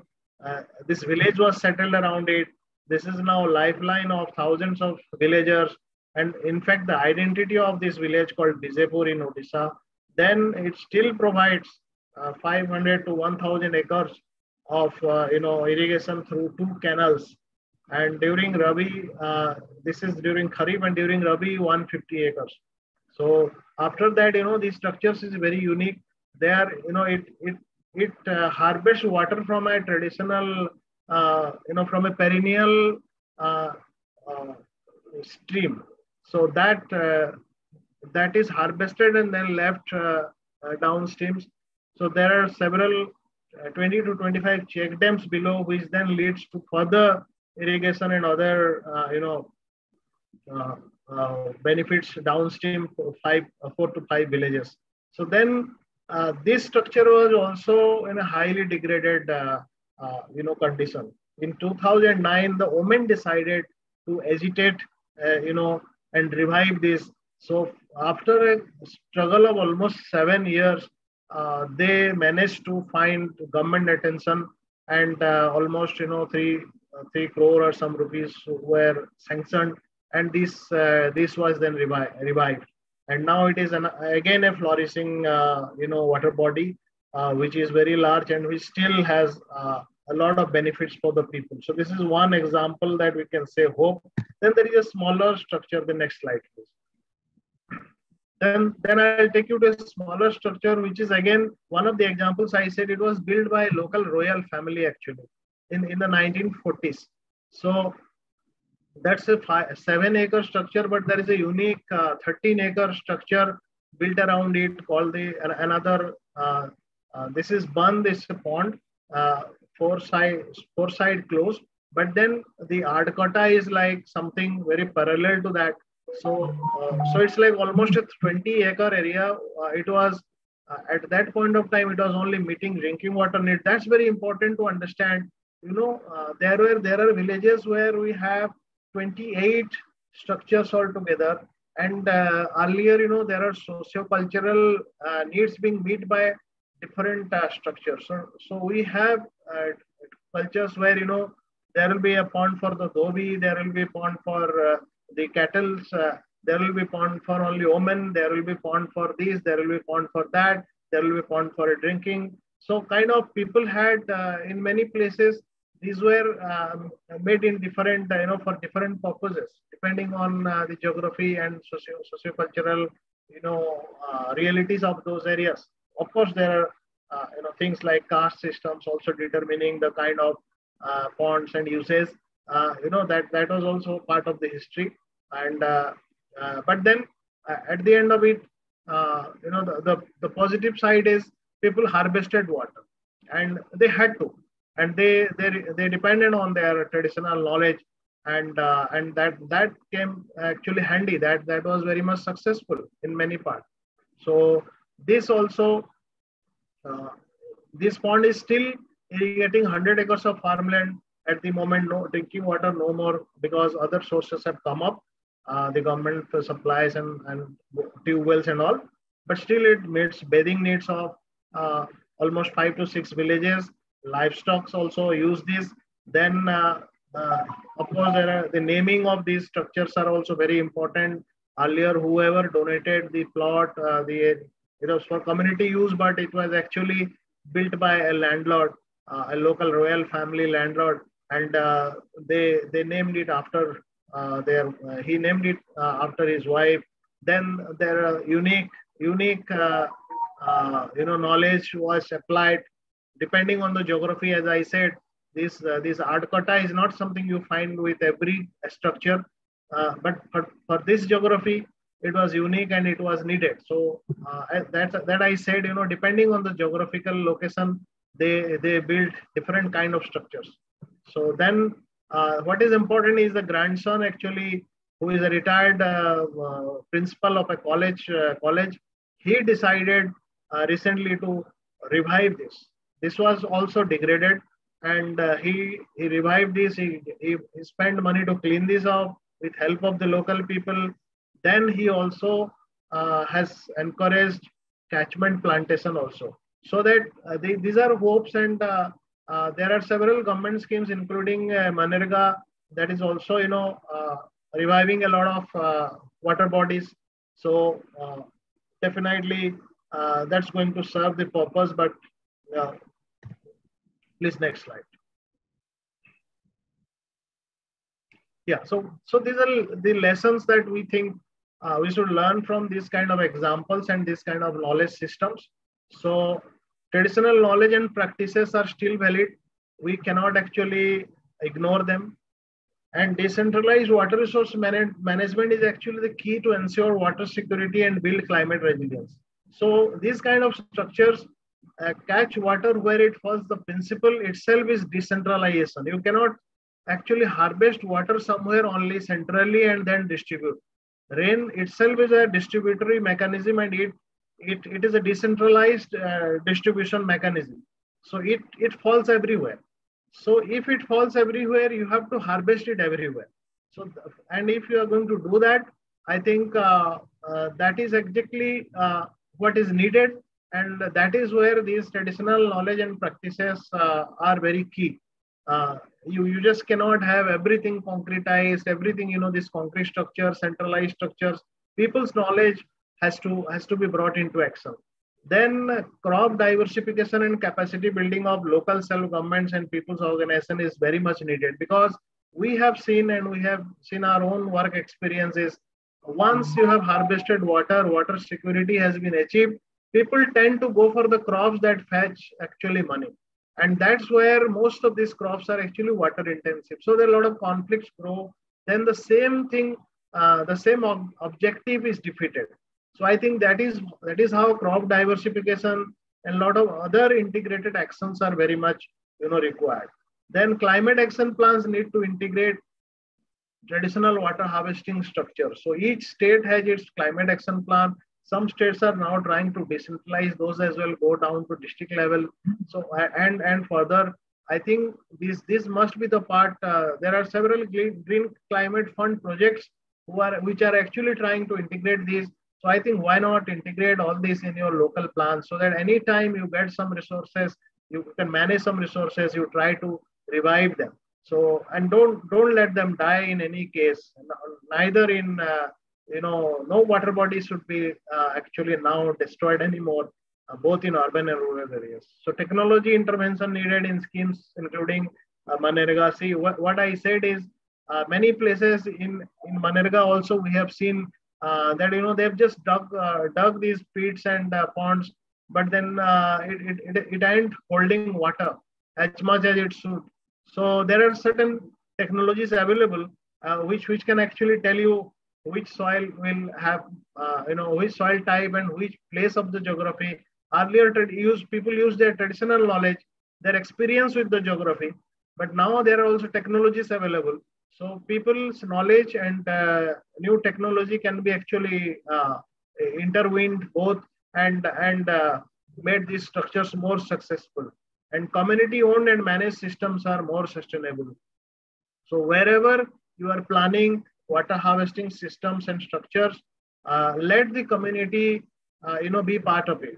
Like in Jal Jeevan Mission, also, you know, source sustainability is a very key aspect. And and there are many uh, many places like i have also been part of some training programs for them. And uh, we have we have always emphasized that you know uh, when you are talking about source sustainability try to uh, see that the people are engaged from the planning level itself and they are part they they own the process. So you know whatever uh, capacity building need is required you you do that. But then because they are going to stay not not not any government officer is actually going to stay in a village. Uh, the villagers only themselves will stay. So if you actually make them to own the process from the beginning beginning starting from planning to implementation to monitoring and evaluation to maintenance regular maintenance i think uh, uh, that is only where you actually build in sustainability to a system. Uh, next slide, please.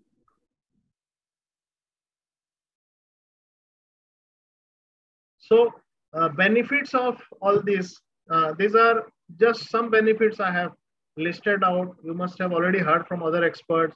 Surface water, you, you bring in surface water security, you bring in groundwater recharge, you can address the imbalances in water supply and demand by conjunct, conjunctive use. That is something we very much prescribe everywhere. Don't use one source uh, for any purpose, neither drinking water nor the other things. So if you actually have decentralized water harvesting systems and structures, you can actually fulfill your many of your needs. Like some structures could be very useful during some part, uh, in some geographies, some places, during some times, and for some purposes.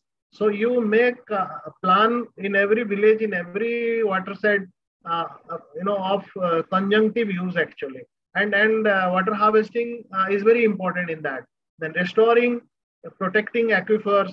Uh, there are many ways, even as I said, you know, the, the managed aquifer recharge. Now, earlier we called them artificial recharging, but nowadays, you know, new studies have come up. these are being called managed aquifer you know recharge MAR. So you take the MAR principles and uh, and and you know once you uh, recharge, once you revive these water bodies and these surface water bodies, then you are actually recharging the aquifers as well the, uh, the surface, the higher surface aquifers. The uh, you know then uh, re rejuvenating rivers and streams, minimum flow maintenance at least like in many places uh, these are linked to the local uh, local springs and local uh, you know rivers local streams. So once you recharge these uh, you also you are also recharging the the streams and the springs and rivers downstream. So there have been examples. Then soil moisture retention is is also improved.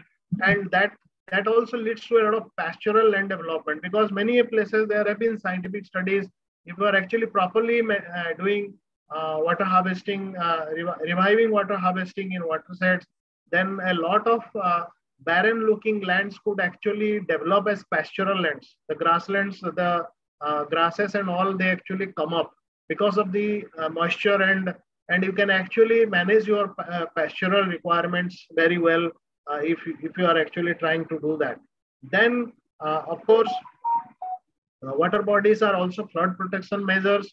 They absorb your uh, these extreme precipitation events, uh, ex extra flow. They absorb them and and let the rest actually flow. So you have if you have water bodies, if you have surface water bodies, uh, you can and, and you, you see many of the cities nowadays uh, they are actually experiencing flash floods because they they have encroached upon their wetlands and water bodies. So you know the water has no place to go and uh, you know sustain or survive uh, you know uh, settle. So so that's why you see a lot of flash floods. So similarly the, one of the major uh, you know benefits you get from protecting water bodies wetlands and all is actually flood protection from uh, from the currently extreme uh, variability rainfall variability.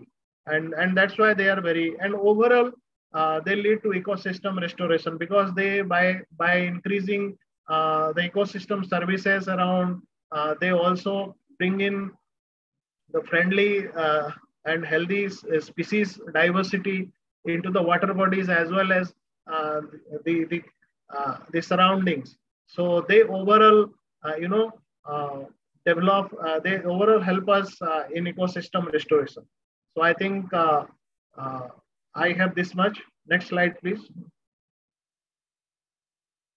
Thank you and let's dive into water. Thanks so much. Thank you, sir, so much for your informative presentation and also very enlightening at the same time. Um, Tikender, sir, uh, would you like to add some comments oh, or should I, I think, move on? I think better we jump to the questions. Sure. Yeah. So uh, there are a few questions here. Uh, Somyaji yeah. is asking how the local authorities are playing role in preserving tanks or ponds. Okay, actually they are supposed to play the uh, you know bigger role, and uh, uh, many of these structures are actually uh, they are technically owned nowadays by the gram panchayats. So uh, the Gram Panchayats uh, should be at the center of uh, uh, recharging and managing this. but then when it's a Gram Panchayat, it should be the people. So I think somewhere we have failed down the line in many parts of India is in in basically reviving the community ownership of these structures. So nowadays, many of these schemes are uh, being promoted as uh, alien schemes, you know, just some development, some uh, some concretization, some beautification, but then uh, wherever the community are involved by the uh, by the because the the fund comes through the authorities. If the authorities have made, made you know special uh, taken special interest to involve communities, I think local communities uh, sustainability chances are more. So they have, of course, uh, a very big role to play. Dr. Swati is asking, uh, sir, is there any success stories on water conservation intervention in Orissa? Yeah, I told you there are two two examples I only gave you from one from Bijepur and one from Khariar, and there are hundreds of them. So we we ourselves actually, uh, I was given the first Green Hero Award by the president in 2010 because I spent almost 16 years reviving hundreds of water bodies in villages.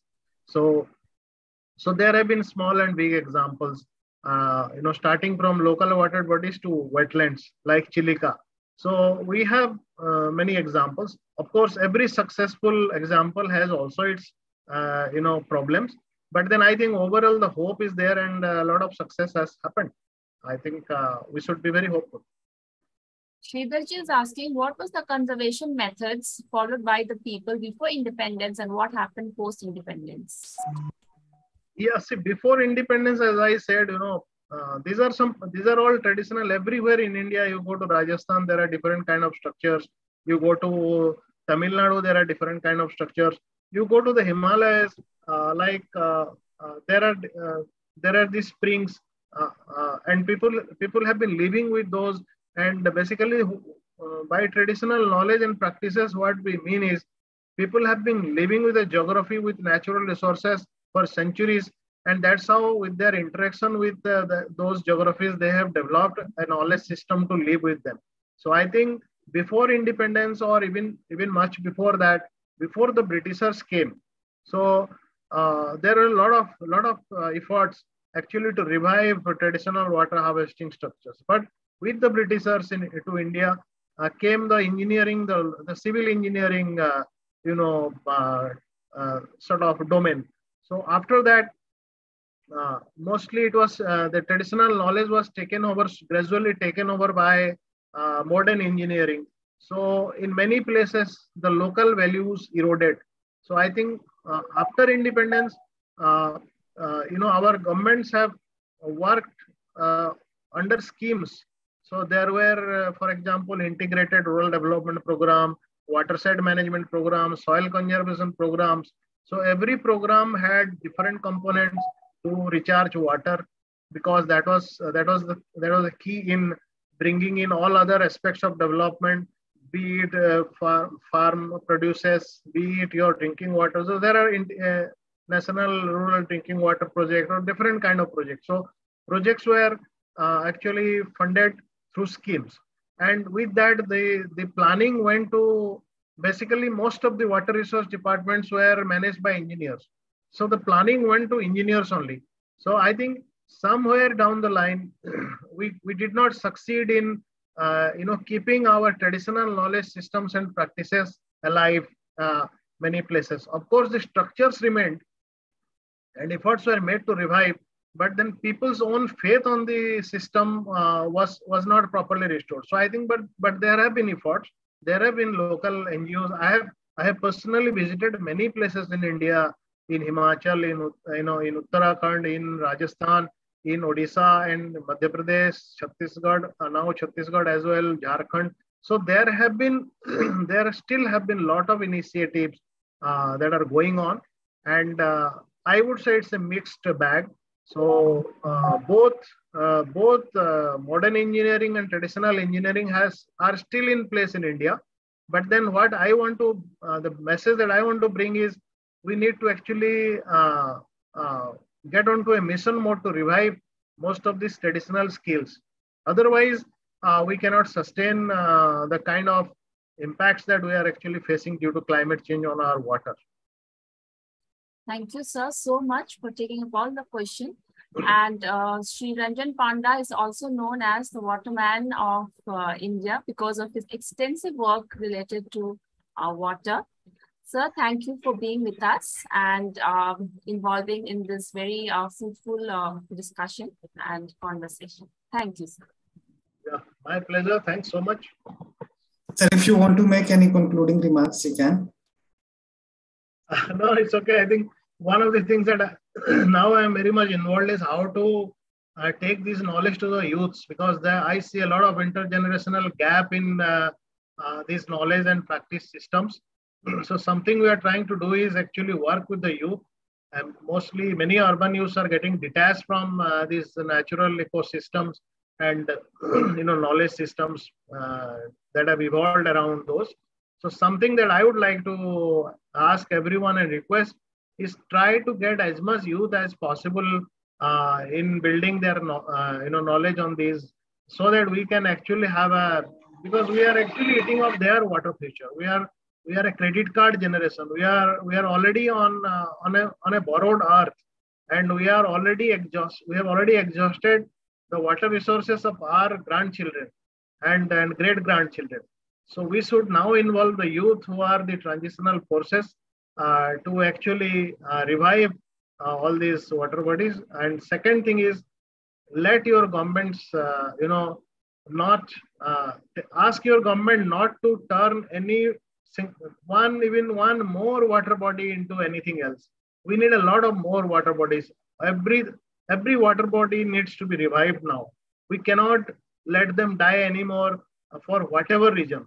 You know for market complex, for roads, whatever. So we have to try and see that uh, we actually we make them survive. So let us try and uh, do whatever little possible in our own at you know ways. Thank you. Thank you so much, sir. Thanks.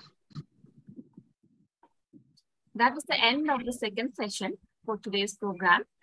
So now moving on to the third and the last session of this training program, our distinguished expert is Professor Arun Kumar.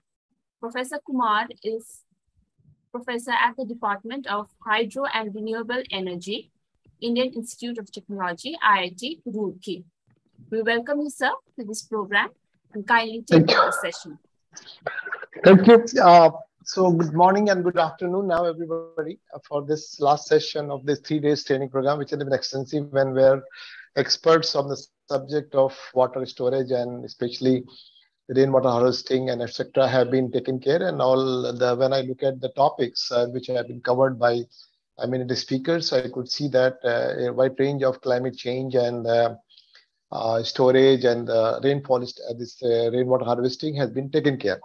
So in my lecture, which I'll try to keep it in the sense brief, about 30 minutes I'll speak on. So another 10, 15 minutes we can have text section or maybe 35 minutes I speak on that and then we can uh, discuss on that. Is it okay? Um, yes.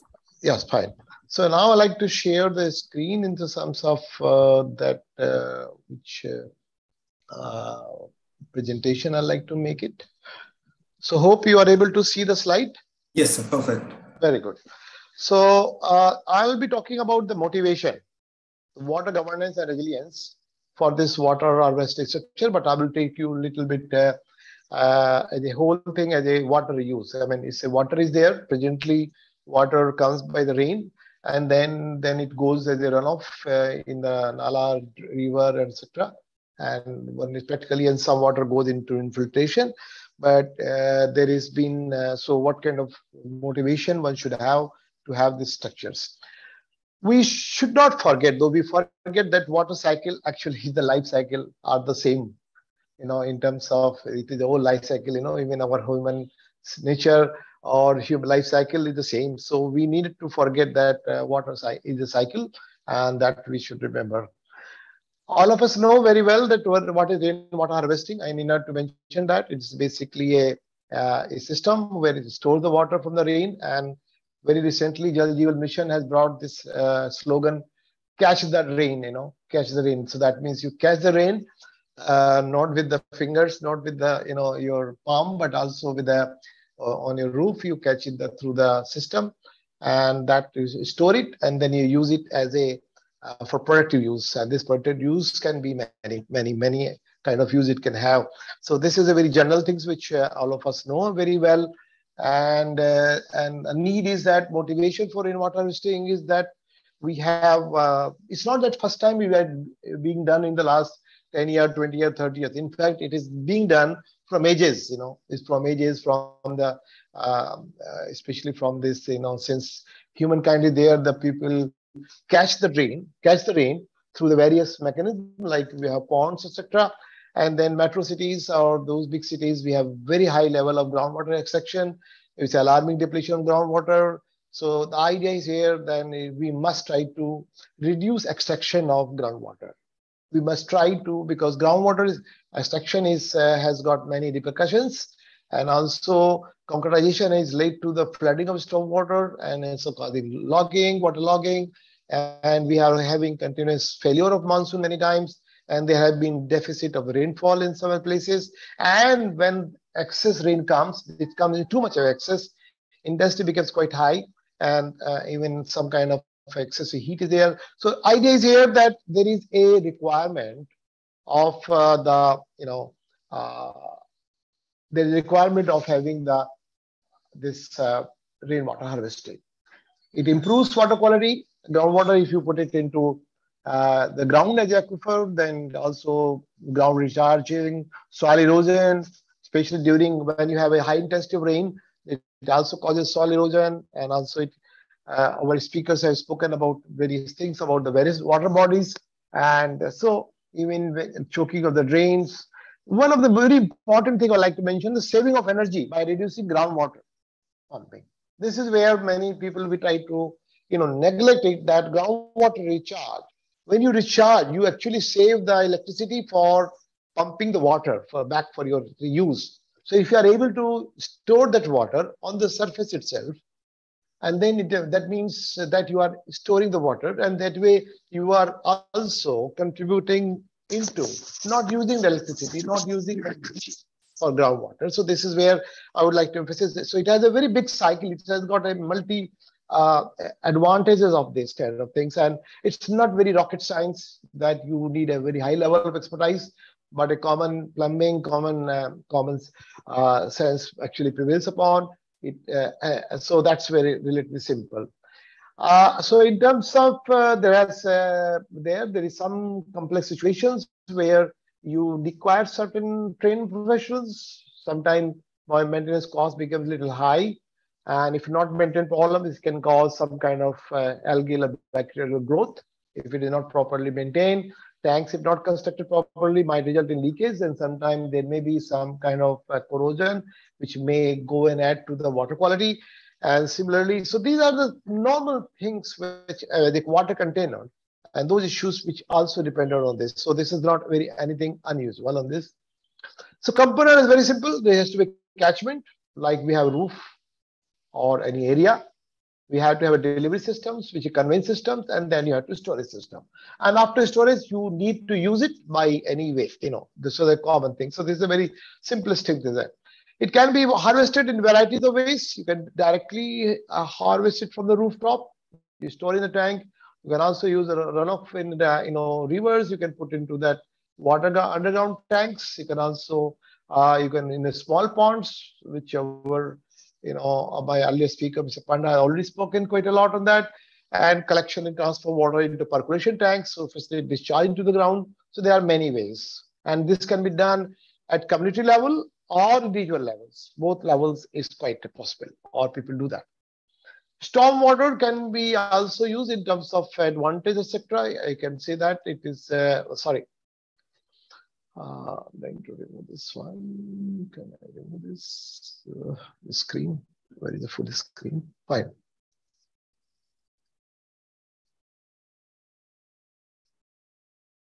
Okay. So at the community level, the water can be collected utilizing in uh, you know some kind of water bodies. Stormwater drains are tapped in the rainwater harvesting. Check dams can be provided. Artificial recharge structures. This is where a, a caution is required when you talk about injection wells in the drains, there's a lot of caution required. I'll speak to you about. So there has to be institutional buildings, etc., can be done. So this could be done at the community level. Individual levels, you can put it on your rooftop or whatever the small area you have. You can also put on the government building.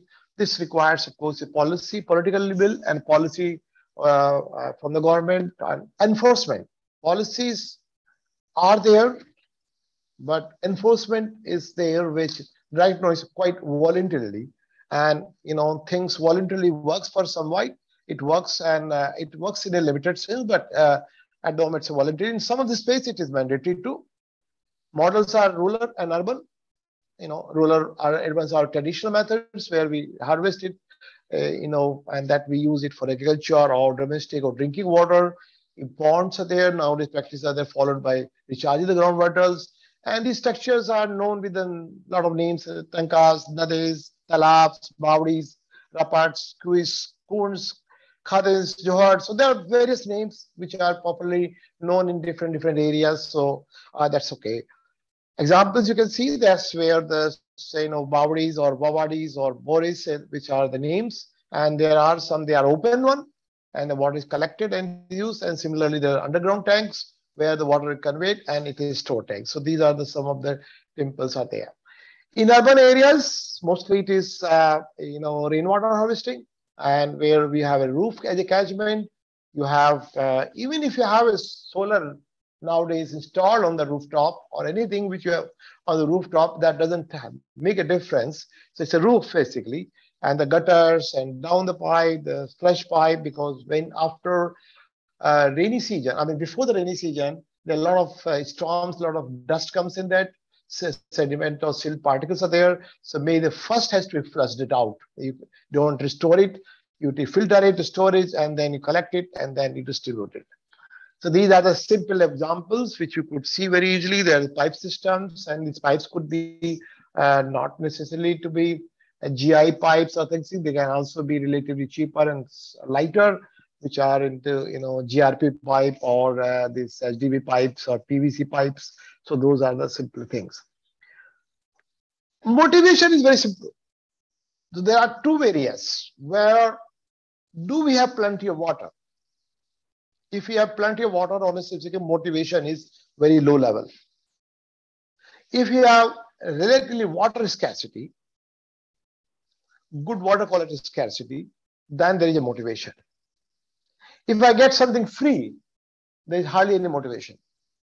If I have to pay something, there is motivation. The, the kind of money which you one pays in India for water charges, they are practically peanuts in terms of what kind of cost does it happens. Most of the water supply schemes are subsidized or they are by the taxpayers. And then you only are being charged some operation maintenance costs. So motivation is that we have fast urbanization, unplanned growth, a lot of industrializations. Unfortunate governmental laws are not poorly, they are poorly enforced. There are the institutions are uh, challenging there. One institution and two other institutions, they don't much have much synchronizations there is a political will, lower less, lower more, depends upon the situation.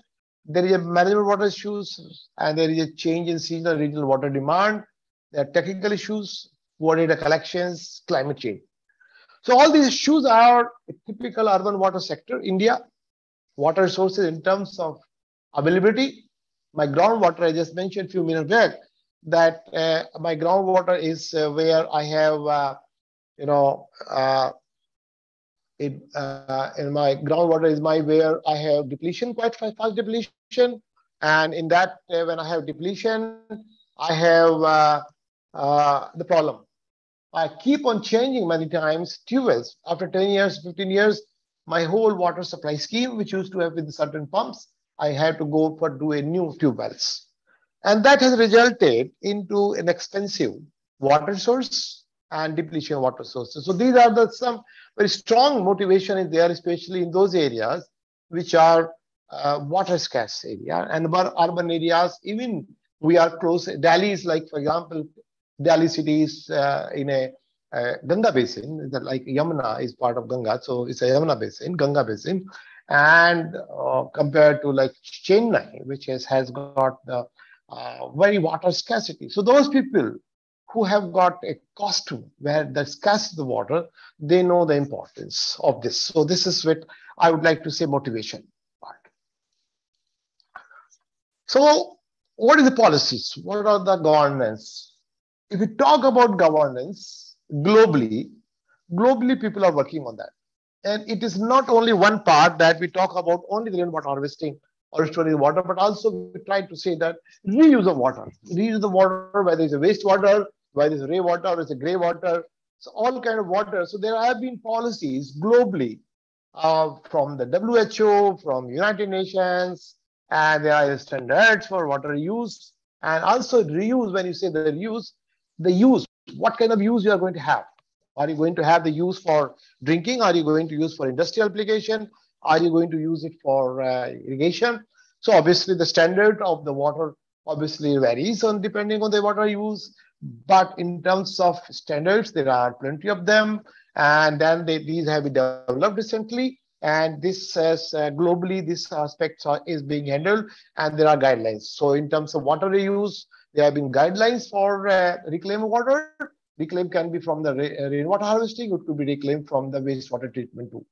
So there are uh, policies. So I'm just putting some, some names here, the Canada, China, Israel, Japan, Jordan. In fact, uh, Israel is too much, you know, it's, uh, they do 90% of water they try to reuse. So that because there's again water scarcity uh, country, but they are doing quite efficiently and smartly. Jordan, Mexico. So name of the country, you will find some policies. So Tunisia, Turkey, US, Greece. So and that's the reason I'm just putting. So our country, you know, like India, the many Ministry of Water Resources, of course, now it become Ministry of Jal Shakti. And so there have been some of the programs like Water Mission, now the Jal Jeevan Mission has gone, the Namami Gange program, and uh, the, the policies, uh, framework of the water. So there has been emphasis on recycling, storing, rainwater harvesting, all kind of are part of the policy uh, in terms of even the MOEF uh, policies, environmental policies, uh, clean energy policies. We talk about all these central and state government has got. So when I talk about this kind of policy, there are plenty of policies. Ministry of Housing Urban, they also have the policies on the treated water, reuse them, store the land. They also have policy for making the uh, you know um, houses household for um, making some rainwater structures so that way we are very good in making it. And some of the initiatives which have been taken by small and large scale government and non-government organizations all over India, which uh, when you try to pick it up in kind of information bank or data bank, you will find plenty of them. And then there are good stories and uh, most of them. One of the question I just heard that how the local govern government works, how they respond to these needs. I just heard, you know, from the previous speaker uh, there there was a question that how the local government fixed. Again, this matters. I like to tell you many times it's a, it's your problem, so you handle it. I mean, there are policies, policies are there, but again, governance, maintenance, all this, all many times depends upon the local factors. But by and large, the government, uh, you know, uh, you need to develop your own. You need to develop your own society, or you maybe have. So it is a mixed kind of uh, response. It's not like everywhere it's very good, everywhere is very bad. So it's kind of mix up. So there are authority national level who are directly involved in rainwater harvestings, uh, you know, board for Central Groundwater Board, the Central Institute of the Research, which is, does a lot of uh, rainwater harvestings, including the check dam sector, Central Regional Institutes, Ministry of Rural Development, Ministry of Water Resources, with Jal Shakti now, uh, Rain, Rainfed, National Rainfed Authority, Ministry of Drinking Water. So there are many such authorities, National Commission for uh, uh, this uh, the agriculture. So many authorities are there which they talk about it. These governance issues are there. The governance guidelines are there. But when we talk about rainwater harvesting, the very in terms of governance is fine, but what about social acceptance? Is the social accepting the roof water as drinking water? If society, where you're talking about it, roof water is being treated as a drinking water. Is the village, is the household who has a rooftop on his, you know, on his roof, on his house, is he eagerly or is he voluntarily Is he willingly participating or he's by force of the law, he's participating? You know? So these are the some of the social acceptance because if you are using that water when the rain comes in, because you should remember or everybody knows that rainwater is very good. Rainwater is absolutely pure. It doesn't have much salt. So even for cooking purpose, it's very good because lesser salt, you know, gets a good cooking, very early cooking. But at the same time, if you store the water for several months and then use it only when the uh, my other sources get dried or my other sources of water is relatively less. And at that time you use the water, perhaps I had to be careful whether that water which I'm going to use as drinking water is good enough. Does it meet the standard of the water? And if so, then, then there should not be a big problem. So the acceptance, social acceptance to any kind of these structures. Similarly, whether my household think that he's spending the money, he's spending the effort on the rainwater harvest structure, whether his efforts are worth it in terms of monetary values, in terms of availability values. Is it worth it? If it's worth it, then he will do it. If you think it's not worth it, that he may not do it. You may ask him to do, you may try to give them incentives, but then those incentives should be sufficient that he should be able to do that. And there should be check and balance, that there should be regular monitoring. There have been few years back, I saw a, a structure in Bangalore where they're mandatory, it was a mandatory, uh, you know, in terms of uh, rainwater harvesting. So water was stored after the rain, somebody guy came and he flushed it out, you know, to the drains. So that means there was hardly any willingness towards that use. It was necessary by mandatory by law. It has been made. So here, that particular society or that particular building, for his owner, was not finding enough economically viable, economically attractive to participate in this program in using this water. And it's not necessary that you have to use that water for your drinking. There are many uses where you can think of using that water of, uh, you know, for the this rainwater harvesting. There are traditional practices of water water collections, whether you see whether there's acceptance. Those who are accepting it's fine, totally, no doubt about it. Then there's quality, water quality health issues. There are bacterial water quality issues, insect, uh, you know, vector issues, and then water treatment and disinfection. If you are going to use it for your direct potable use, if it's not direct potable use, if you are used for you know, cleaning your uh, garage or mean your vehicles or putting into the drink uh, irrigation, putting your horticulture or cleaning your flushes. Then of course uh, the water quality indirect, since they are not directly in your, uh, you know, your use uh, in your human touch, hence they can be, you know, relatively uh, graded. But then it's very important to take care of that. So if I'm able to take care of these issues, then perhaps I'm able to, uh, I will able to encourage, I'm able to motivate enough for the rainwater structure, uh, rainwater harvesting. Because governance is fine, but the governance, you know, until I have a, I have a, you know, motivation, I have, a, and most of the time motivation will be economic, economic motivation. You know, the cases, you know, when LED bulb came, you know, I'm talking LED, Earlier it was CFL, then it was incandescent lamp. What was the motivation? Was it to pro- uh, participate in the program of the energy conservation of the government? No, no, no, nobody. It was, even if it was expensive, but it was a straightforward economy, where everybody understood that 7 watt of the bulb, which is equivalent to 60 watt of the incandescent lamp, if you calculate with the CFL, even of 10, uh, 10 watt of CFL, if you calculate its life cycle cost, it was being found that it was very cheap. So similarly happen in the rainwater harvesting.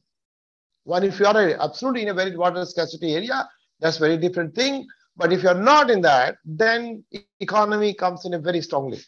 So this has to be understood very well. Economic viability has to be there where if I'm having a free water supply from the various government sponsored scheme, then cost of storage, nobody is going to look at your proposal at all your investment, if it is very costly, in afford unaffordable, no. The cost of returns maybe, then what is the way out? We maybe we can incentivize this. Maybe we meet some cost of that.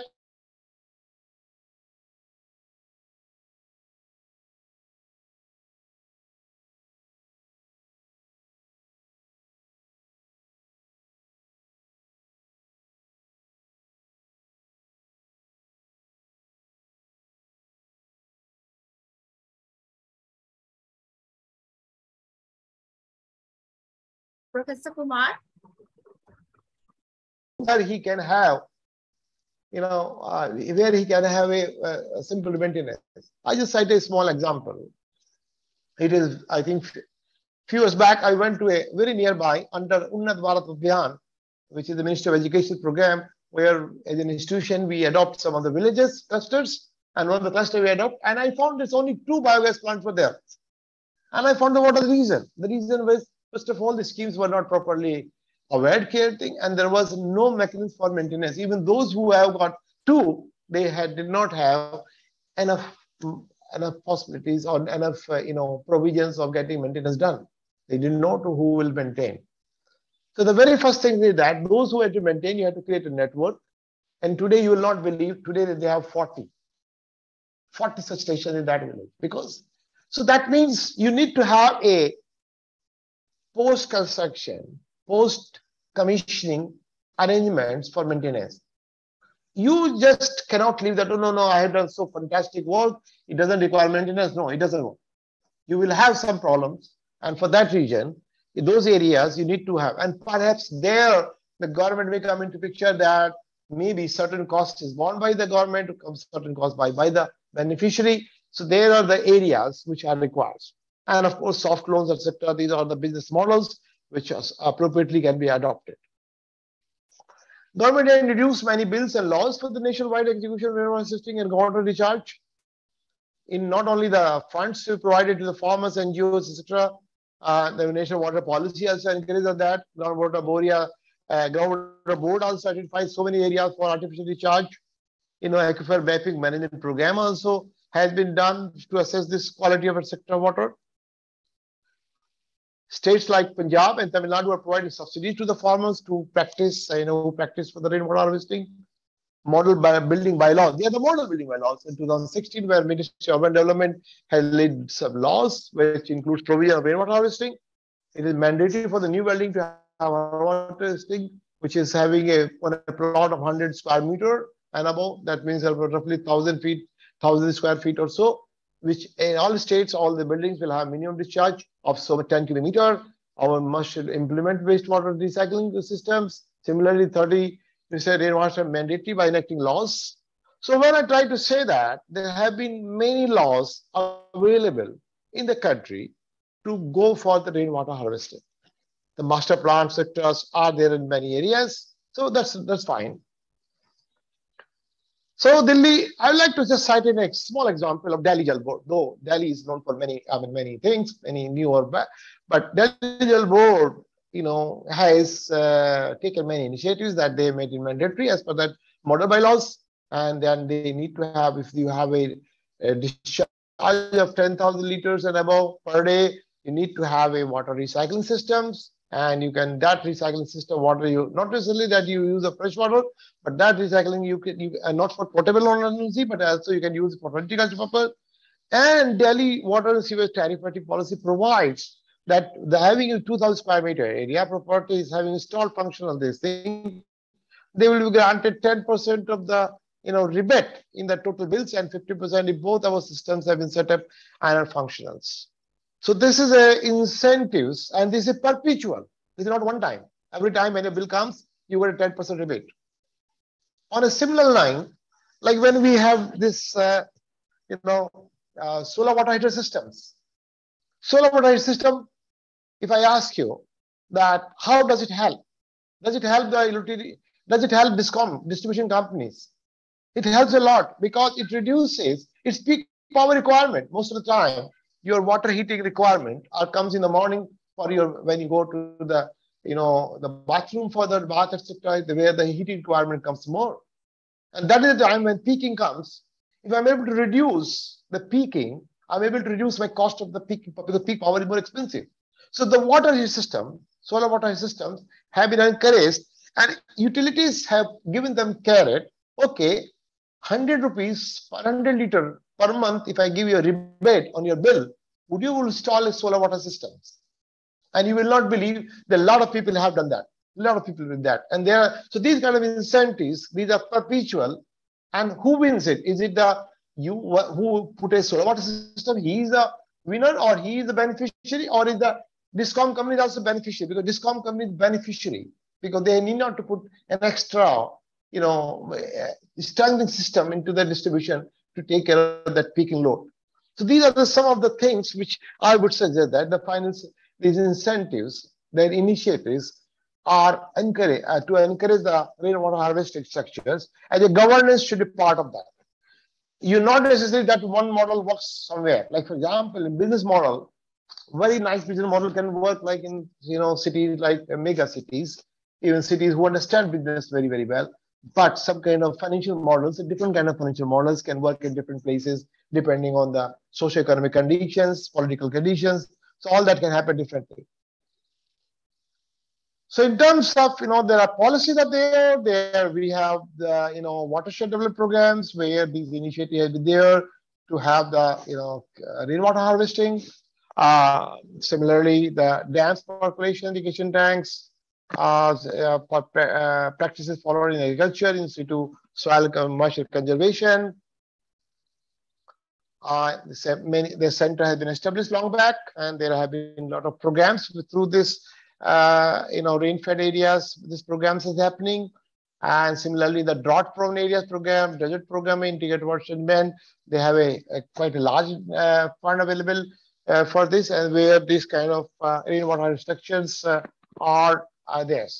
So, what is the resilience of this? Rainwater restriction invention build groundwater resilience by diverting fraction of runoff into shallow aquifer.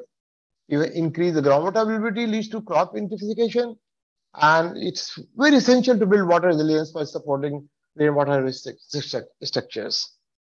We need to have encouragement to the rainwater systems in commercial institutional areas. Government take follows some of the steps like technical know-how should be provided by the government, maybe free of cost, so that people are encouraged to use that. You know, many times there hesitation in a, so if something is available, I'm not ready to pay for consulting, but if I'm getting some this kind of consultation by volunteers, Rainwater centers can be set up in the each district also can be run by NGOs or others, and uh, so that uh, they can provide the technical assistance to the common public, and they also create the.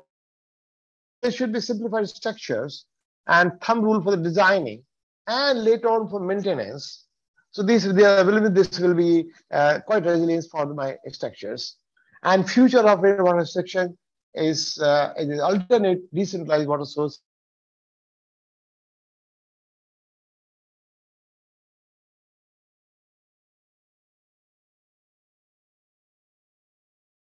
slowly. And we many times have bad quality of water uh, because of uh, internal corrosion, etc. And then we have, uh, so this system is growing nationally, internationally. And so the, like other countries, we are also growing at this. So there are many recommendations that we must have rainwater harvesting at individual and community levels. We must rejuvenate water bodies and best water management practice should be done and which we should also talk about watershed demand water supply, reducing non-revenue water, improving water pressures, water regulators. We must have a good rational water tariff, which unfortunately not at the moment. We must recover the whole O&M. If you are able to recover whole O&M without subsidies and with lot of efficiency, perhaps rainwater harvesting still will have a much uh, you know favorable place. Enforcement environmental laws, we must one has to coordinate with various central and state uh, authorities.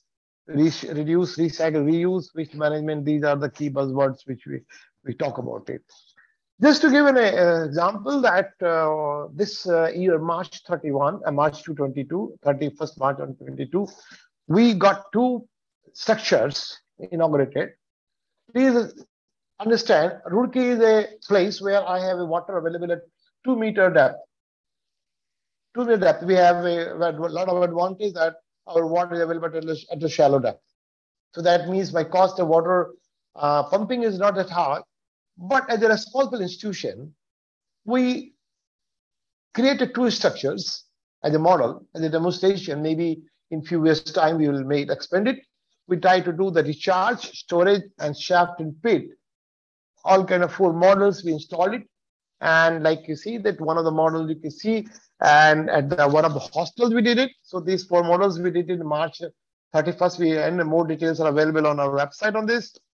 And so we did it one Kasturba Bhavan with inmates about 7,000 students, uh, sorry, 700 students where area of about water was uh, the roof is about 915 is a multi-story building where roughly 7.5 liters per uh, uh, year kind of water recharges. So while we recharge, we have to be careful. We have to filter it out with all standard filtering process, you know, those we have learned in the uh, schools, primary schools, you know, with the different layers of uh, my, uh, you know, sediment size or boulder size where I have educate.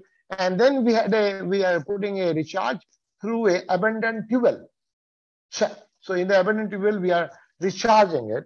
So though it's a, uh, I just said that since we have only shell water available, it is honestly speaking, it is basically for you know since we are a, a, a, a education institution, so it is basically for purpose of uh, uh, demonstration, pilots, etc. Similarly, for our uh, storage models, we have a storage which you use it for uh, you know as a shaft and also for the recharge pits where we are trying to recharge pit not through the shaft but through the normal uh, the normal uh, procedures of uh, having recharge. So this again 425 square meter area where about 3.5 liters per year uh, something we done. So this is as a uh, this year only we did it, and when we you know uh, when we have received this kind of uh, message that we should have a demonstration and we as a response institution we did it.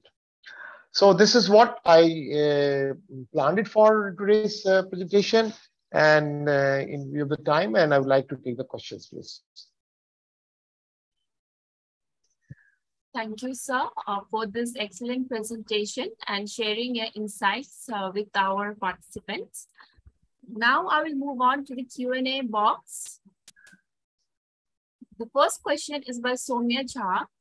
The question is, is there any training program for government bodies or officials on water awareness at local level? You see, this uh, point is highly pertaining and it's, it's a very important topic, a very point you're saying. Under the Jal Jeevan mission and this under Jal Jeevan mission, I would like to say that a lot of programs are happening. And if you look at the, there are training institutes, they are also trying to have you know, this Har Ghar Nal, you know, every household will have a uh, tap water. Similarly, conservation. As there are plenty of programs, but I really don't know that which are the programs where all programs are put in as a, a singular database. But if you uh, you know see those regional centers or institutions uh, which have been uh, you know uh, identified by the Jal Jeevan mission, this information can be available. But if you can drop an email to me, I will be able to help in that sense. Prakash is asking, how can the community participation be encouraged? We see that there is always a need of someone to take the initiative. Can we have an institutional approach? And how MNREGA can be made a part of rainwater harvesting? You see, as far as the rural areas, I mean, um, MNREGA is concerned, it can be part of that very simply. And in many of the villages or many of the people are using it. But as you said, how the institutional support can come in.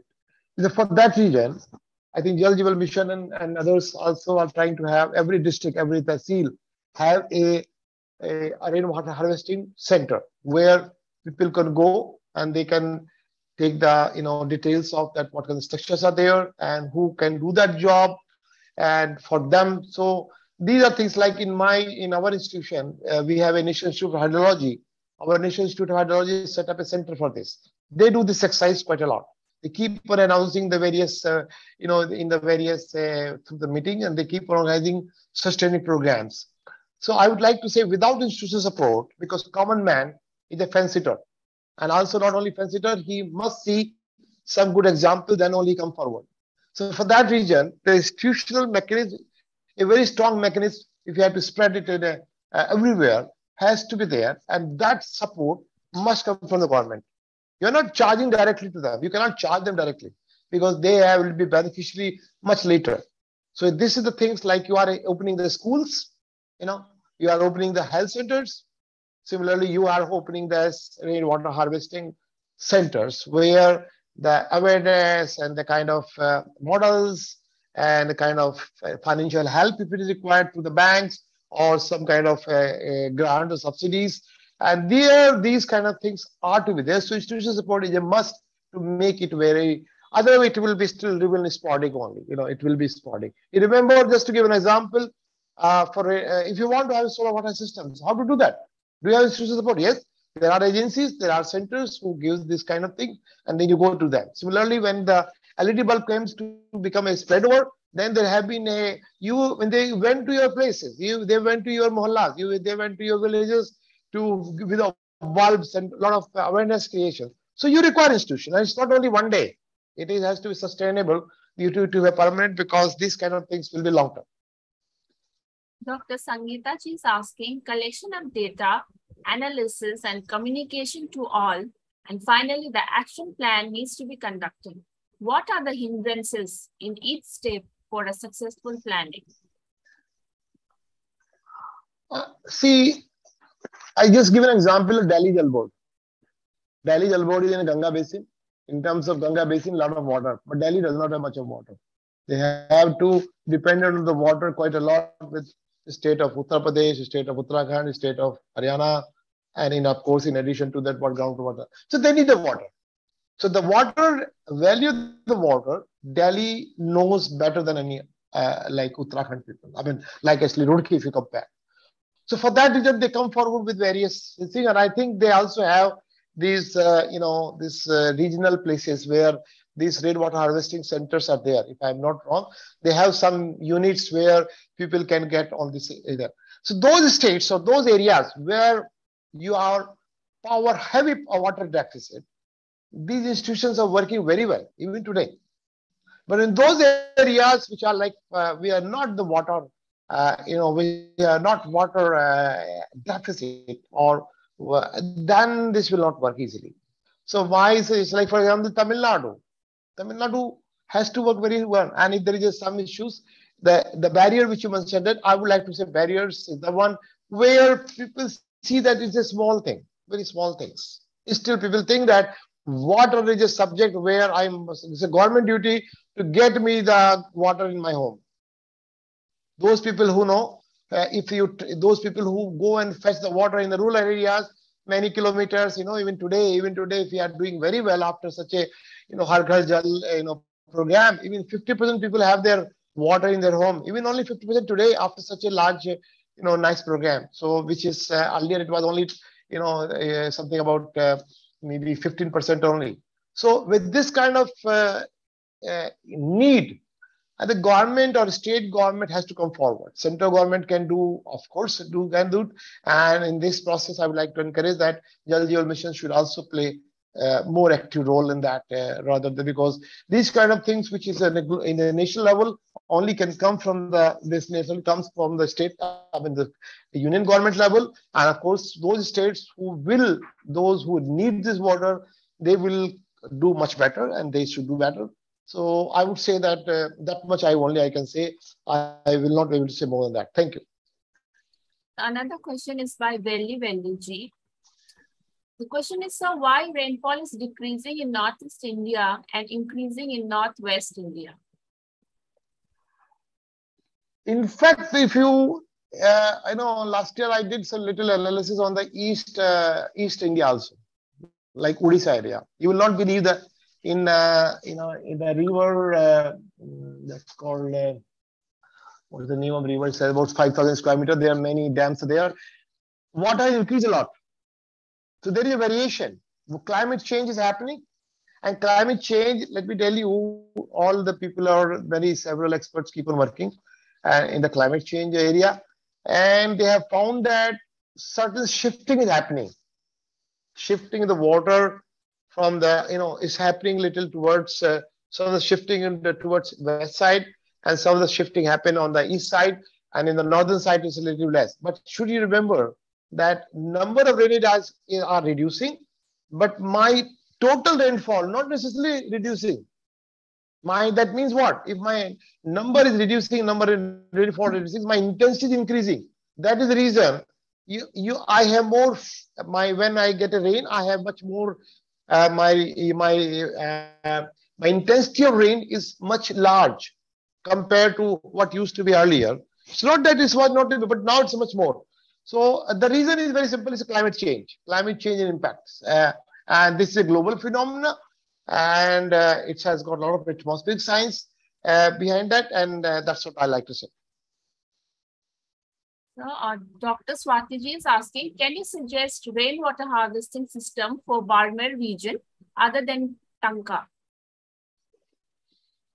I really, I know the Barmer areas, but I will not be able to really, uh, I will not be able to really, I know there yeah, operation rate is quite high and temperature is also quite high on that side, but I will be not really, I'm, uh, I have not studied that part. And I, I'm sorry, Dr. Swati, that I will not be able to answer you right now, but uh, I will ask my colleagues and then if I can answer you later on that. You know, Tanka is of course one choice, but other choice I need to discuss with my uh, colleague uh, who may be knowing more than me on this particular uh, aspect of this Barmer village, uh, Barmer, uh, you know, area. So Meji is asking, there are few region drought areas in Rajasthan and Bundelkhand where water scarcity can be understood. But in Bihar, where flood comes almost every year, still there is scarcity of water. Why is that so? It's management. It's very simple management of water. You see, many times what we some uh, see there are two sources of water: surface water and groundwater. Surface water as I, I also know that it comes only for two months, three months in the larger quantity, and the quantity is 100 times more than the lean quantity. So if I have to use the water for 365 days, state, say state of Bihar is relatively flatter area. It's in like you can say my slopes are very mild, and that is the reason when the river comes, they start meandering also. A lot of sediment which they bring it from Himalayas, that's try to settle, and then the river start meandering, especially like Kosi, Gandak, are very famous for that. The problem is the water management. Need to, I either I use the groundwater or I use the surface water. Surface water, perhaps making the dams is not solution in the uh, in a, emitting a dams is not there because it's a flatter land. So you cannot make much of the maybe some smaller uh, area can then you must do some kind of groundwater. Groundwater has to be adequately managed in this case. so this withdrawal so it's a basically a management problem not anything else not anything else. The last question is by Shailendra ji. How much demographical conditions make difference when you say demography i would not say that any demography has really an impact on that it's basically economy availability and economy. These are two factors which actually cause, uh, which are more uh, serious factors uh, on, uh, you know, you know that's Mizoram. I think I hope you know the state of Mizoram. The state of Mizoram use the rainwater harvesting from ages. You know, they are the highlanders. They don't live in the valley. They live on the top of the hill, on the ridges. So for them, if they have to the water, they don't go and fetch the water from the ground and go to the three kilometer down the hill and they get it. They they they harvest the water. Rainwater harvesting is in their blood. So it's like demography when you say it is not really, it's basically need. It's a need. If you need, you will do it. Mizos are very good examples, and that's region, since they live uh, the high, they are also known as highlanders, and they are the one they use rainwater harvesting very religiously. So it's uh, demography in that sense it matters, but in terms of need and economy, they are the two things: uh, uh, availability, need, and economy. Sir, uh, is asking uh, if you can suggest any good book. I will certainly do that. I will certainly do that. I will send this thing to uh, maybe to the uh, to you, and then you can send it to me. Yes. All right. So, uh, thank you so much, sir. Sir, if there's any concluding remarks and way forward.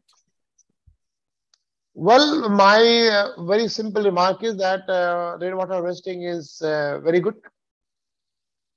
and it has to be economical. You have to encourage it. And those weak points, like I said, the institutional arrangement has to be effective institutional arrangement has to be in place. Incentivization must be there must be there. Until instrumentalization there, people do not work. Or you have a situation like, uh, you know, where water is really scarce, where you have no other option to, until like rainwater harvesting, as I just said Mizoram. Major cannot think of not having a rainwater harvesting because they live there and their water has to come from there. So these are the, some of the things which I like to conclude it. And those uh, I would like to encourage it. Is like uh, some of the models which I just shown you of my own institution. Uh, with a lot of thinking, we did it, and I would like to.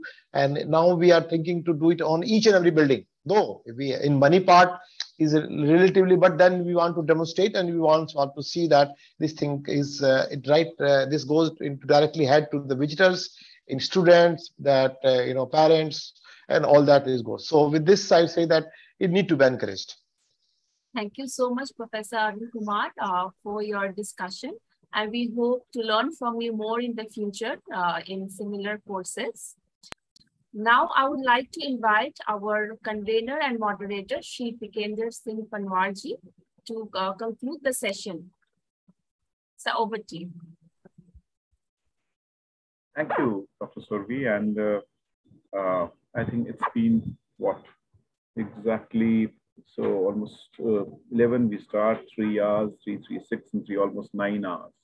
9 into 60, that means 540 minutes of uh, this training program.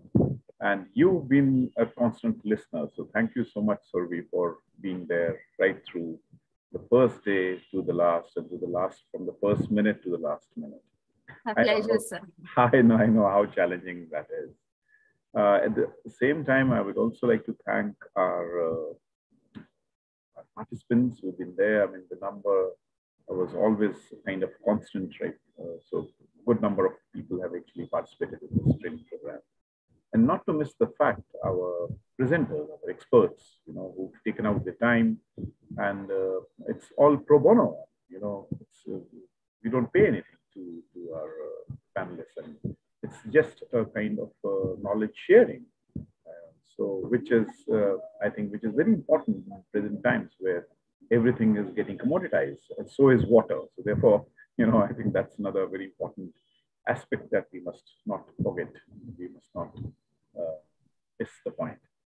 Now, uh, I don't think I have to summarize the discussion because uh, uh, I think we'll be bringing out uh, the entire discussion in a textual form and hopefully we'll bring out a book so that it becomes a, a kind of uh, not a module, but you know, a kind of uh, uh, comprehensive work of all our experts, so that they are able to understand what kind of interventions have actually been done, what are the realities, what are the challenges, and let me, I think, start right from the policy paradigm because and and I uh, I just before I forget, I think there was a question asked to recommend two books. I would recommend two books, in fact, uh, on water. The first one is written a few years uh, back, and that's the Blue Gold.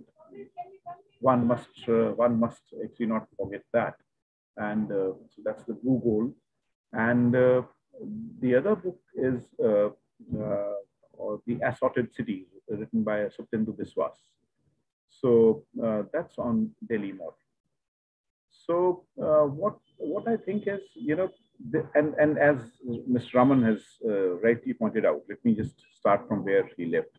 Actually, we should not miss the uh, fact and the point, the kind of uh, interventions that we expect from the state, and kind of you know uh, budgetary spending that is taking place on the on on this water sector, which is very quintessential for uh, for uh, you know taking uh, this onerous task of rainwater conservation forward.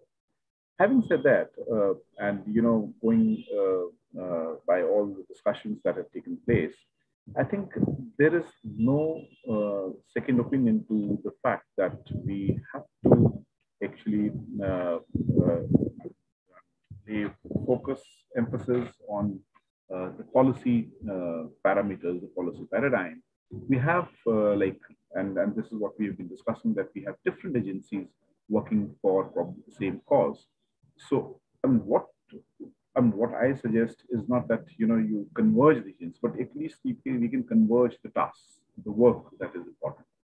And uh, uh, so therefore the urban development and the uh,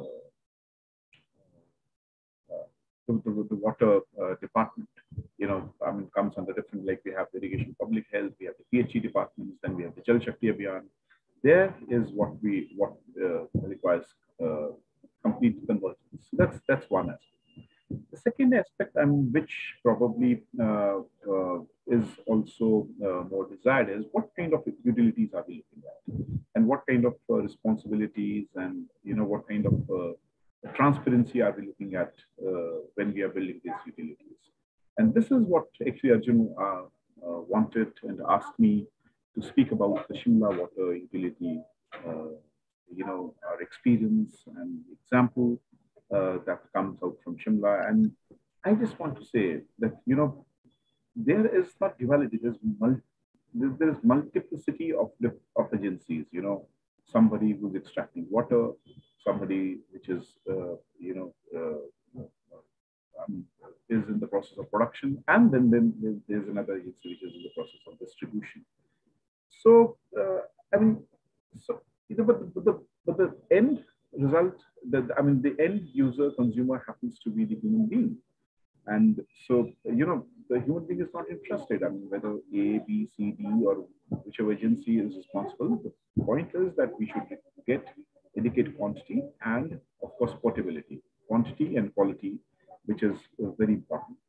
So, therefore, the utilities that we're talking about, I mean, and one aspect which uh, also emanates from rainwater conservation is Uh, you know, the whole business of, uh, of uh, you know, water purifying companies. I mean, if you see uh, the, uh, the mandate and the constitutional framework of different organizations, for example, the municipal corporations or the Delhi Jal Board or the PHE department, to name them, everyone has the responsibility of providing A, adequate quantity, and B, potability, that is quality and quantity of water. So if they are responsible for providing the uh, for for uh, you know measurable uh, quantity and uh, you know qualitative, then why should we go into and and uh, go into buying uh, water purifiers, which is a huge huge you know kind of loss for for the, for the people.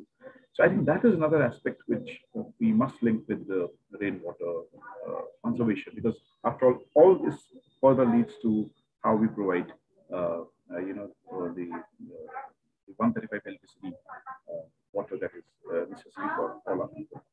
And this leads to, you know, I mean, is water a class issue? I think that that also came into our discussion. I think it's a very much class issue for the simple reason and this is what Suptendu points out in Delhi, and this is what we got to know when we were discussing it in, in Delhi. Uh, just let's understand Delhi in three different uh, conjoints. One is mainland Delhi, Another one is Lutyens. And the third one is cantonment. I mean, I, I mean, maybe people do not even know, you know, the per capita availability or per capita distribution of water in these three different aspects is like really startling. Whereas the mainland Delhi doesn't even get 135 LPCD, it's lesser than 100.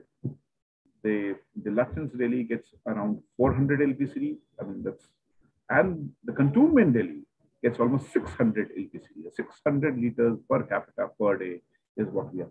So, you know, I mean, I mean, so, so that's why utility is something very important when we talk about utility. How do we manage utility? How do we bring in the transparency? How do we bring in transparency in the utility? I think that is uh, uh, that is one of the important uh, aspects that we should not forget. And lastly, uh, if we just, uh, I mean, what has been flagged in the Rajya Sabha uh, to one of the questions that was raised, and this is what we what came out in one of our presentations as well, that 80 percent of groundwater is now contaminated. You know, with with the and I, am quoting it from from the Rajya Sabha proceedings just two or three days back, uh, that there are excess amounts of toxic metals. So what is it that is happening? Where are the agents? Where is the pollution board? I mean, I've seen the reply given by the minister in the in the parliament and the Rajya Sabha saying that you know, it's a state subject. Now, all of a sudden, water becomes a state subject. And so that's why I think so. These subjects, whether it's state subject or it's union subject, concurrent subject, or you know, the municipality subject. So the subjects are subjects and they're citizens. You know, so um, and if 80% of water is not fit, the groundwater, and, and we know uh, uh, it's only 20% water, surface water, and 80% comes from groundwater. So where are we heading?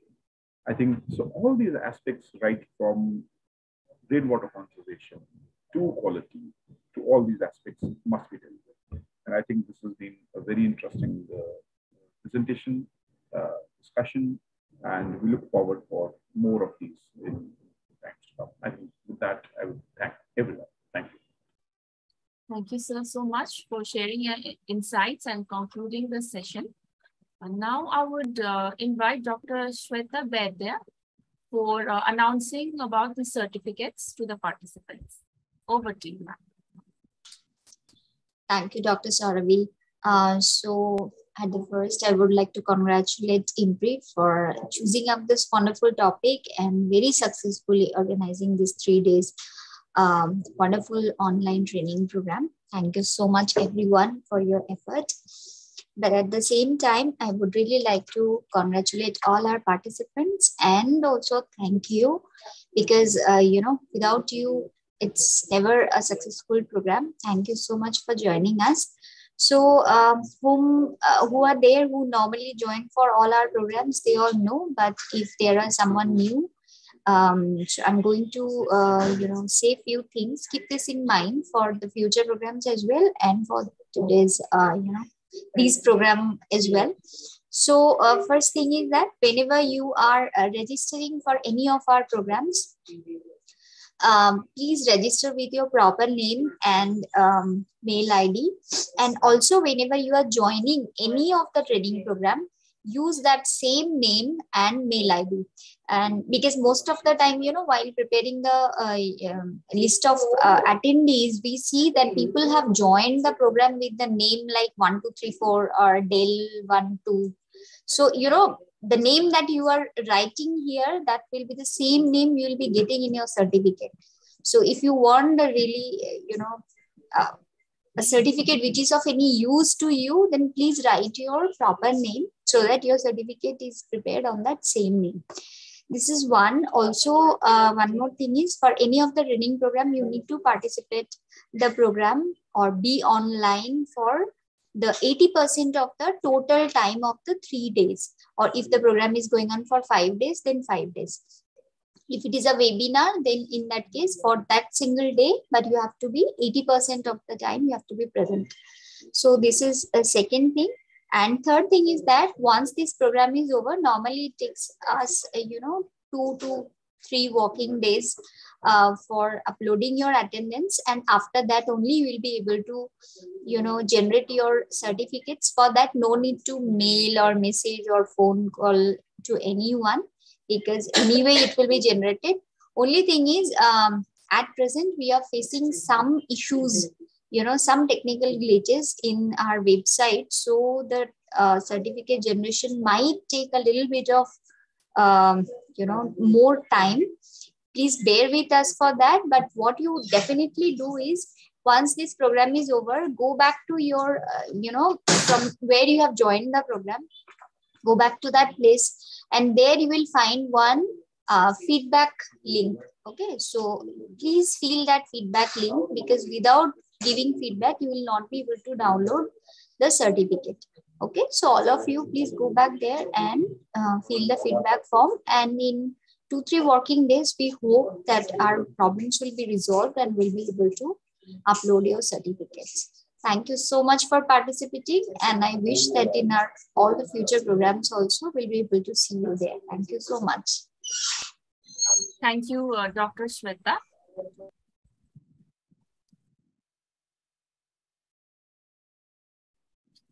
As we come to end of our online immersive online certificate training program on implementing rainwater conservation practitioners' perspectives on rainwater harvesting and efficient local water governance and resilience. I, Sauravi Ghimire, researcher at IMPRI Impact and Policy Research Institute, would like to propose the formal vote of thanks on behalf of IMPRI and NIDM. This training course is organized by National Institute of Disaster Management, Ministry of Home Affairs, and IMPRI's Center for Environment, Climate Change, and Sustainable Development, or CECCSD, Impact and Policy Research Institute. We thank the patron for the program, Sri Taj Hassan, convener and moderator, Sri Tikender Singh Panwar. I would like to thank our conveners, Professor Dr. Anil K. Gupta, Dr. Simi Mehta, and Dr. Soumyadeep Chattopadhyay. We are very grateful to all our expert trainers, Dr. Anamika Barua, Dr. Indira Khurana, Dr. Jenia Mukherjee, Dr. Fauzia Tarannum, Ms. Anjali Makhija, Dr. Brajesh Kumar Dubey, Sri V.R. Raman, Sri Ranjan Panda, and Professor Arun Kumar. We thank all of our participants who have raised pertinent questions and were actively involved in this three-day training program. We thank you for being interested and putting your time, energy, and efforts in understanding emerging issues concerning the impacts of policies in disaster management and helping us to bring together the practitioners and participants through this course, which we believe must have benefited us immensely. Thanks to the organizing team of IMPRI and NIDM for conducting the whole session in a smooth manner.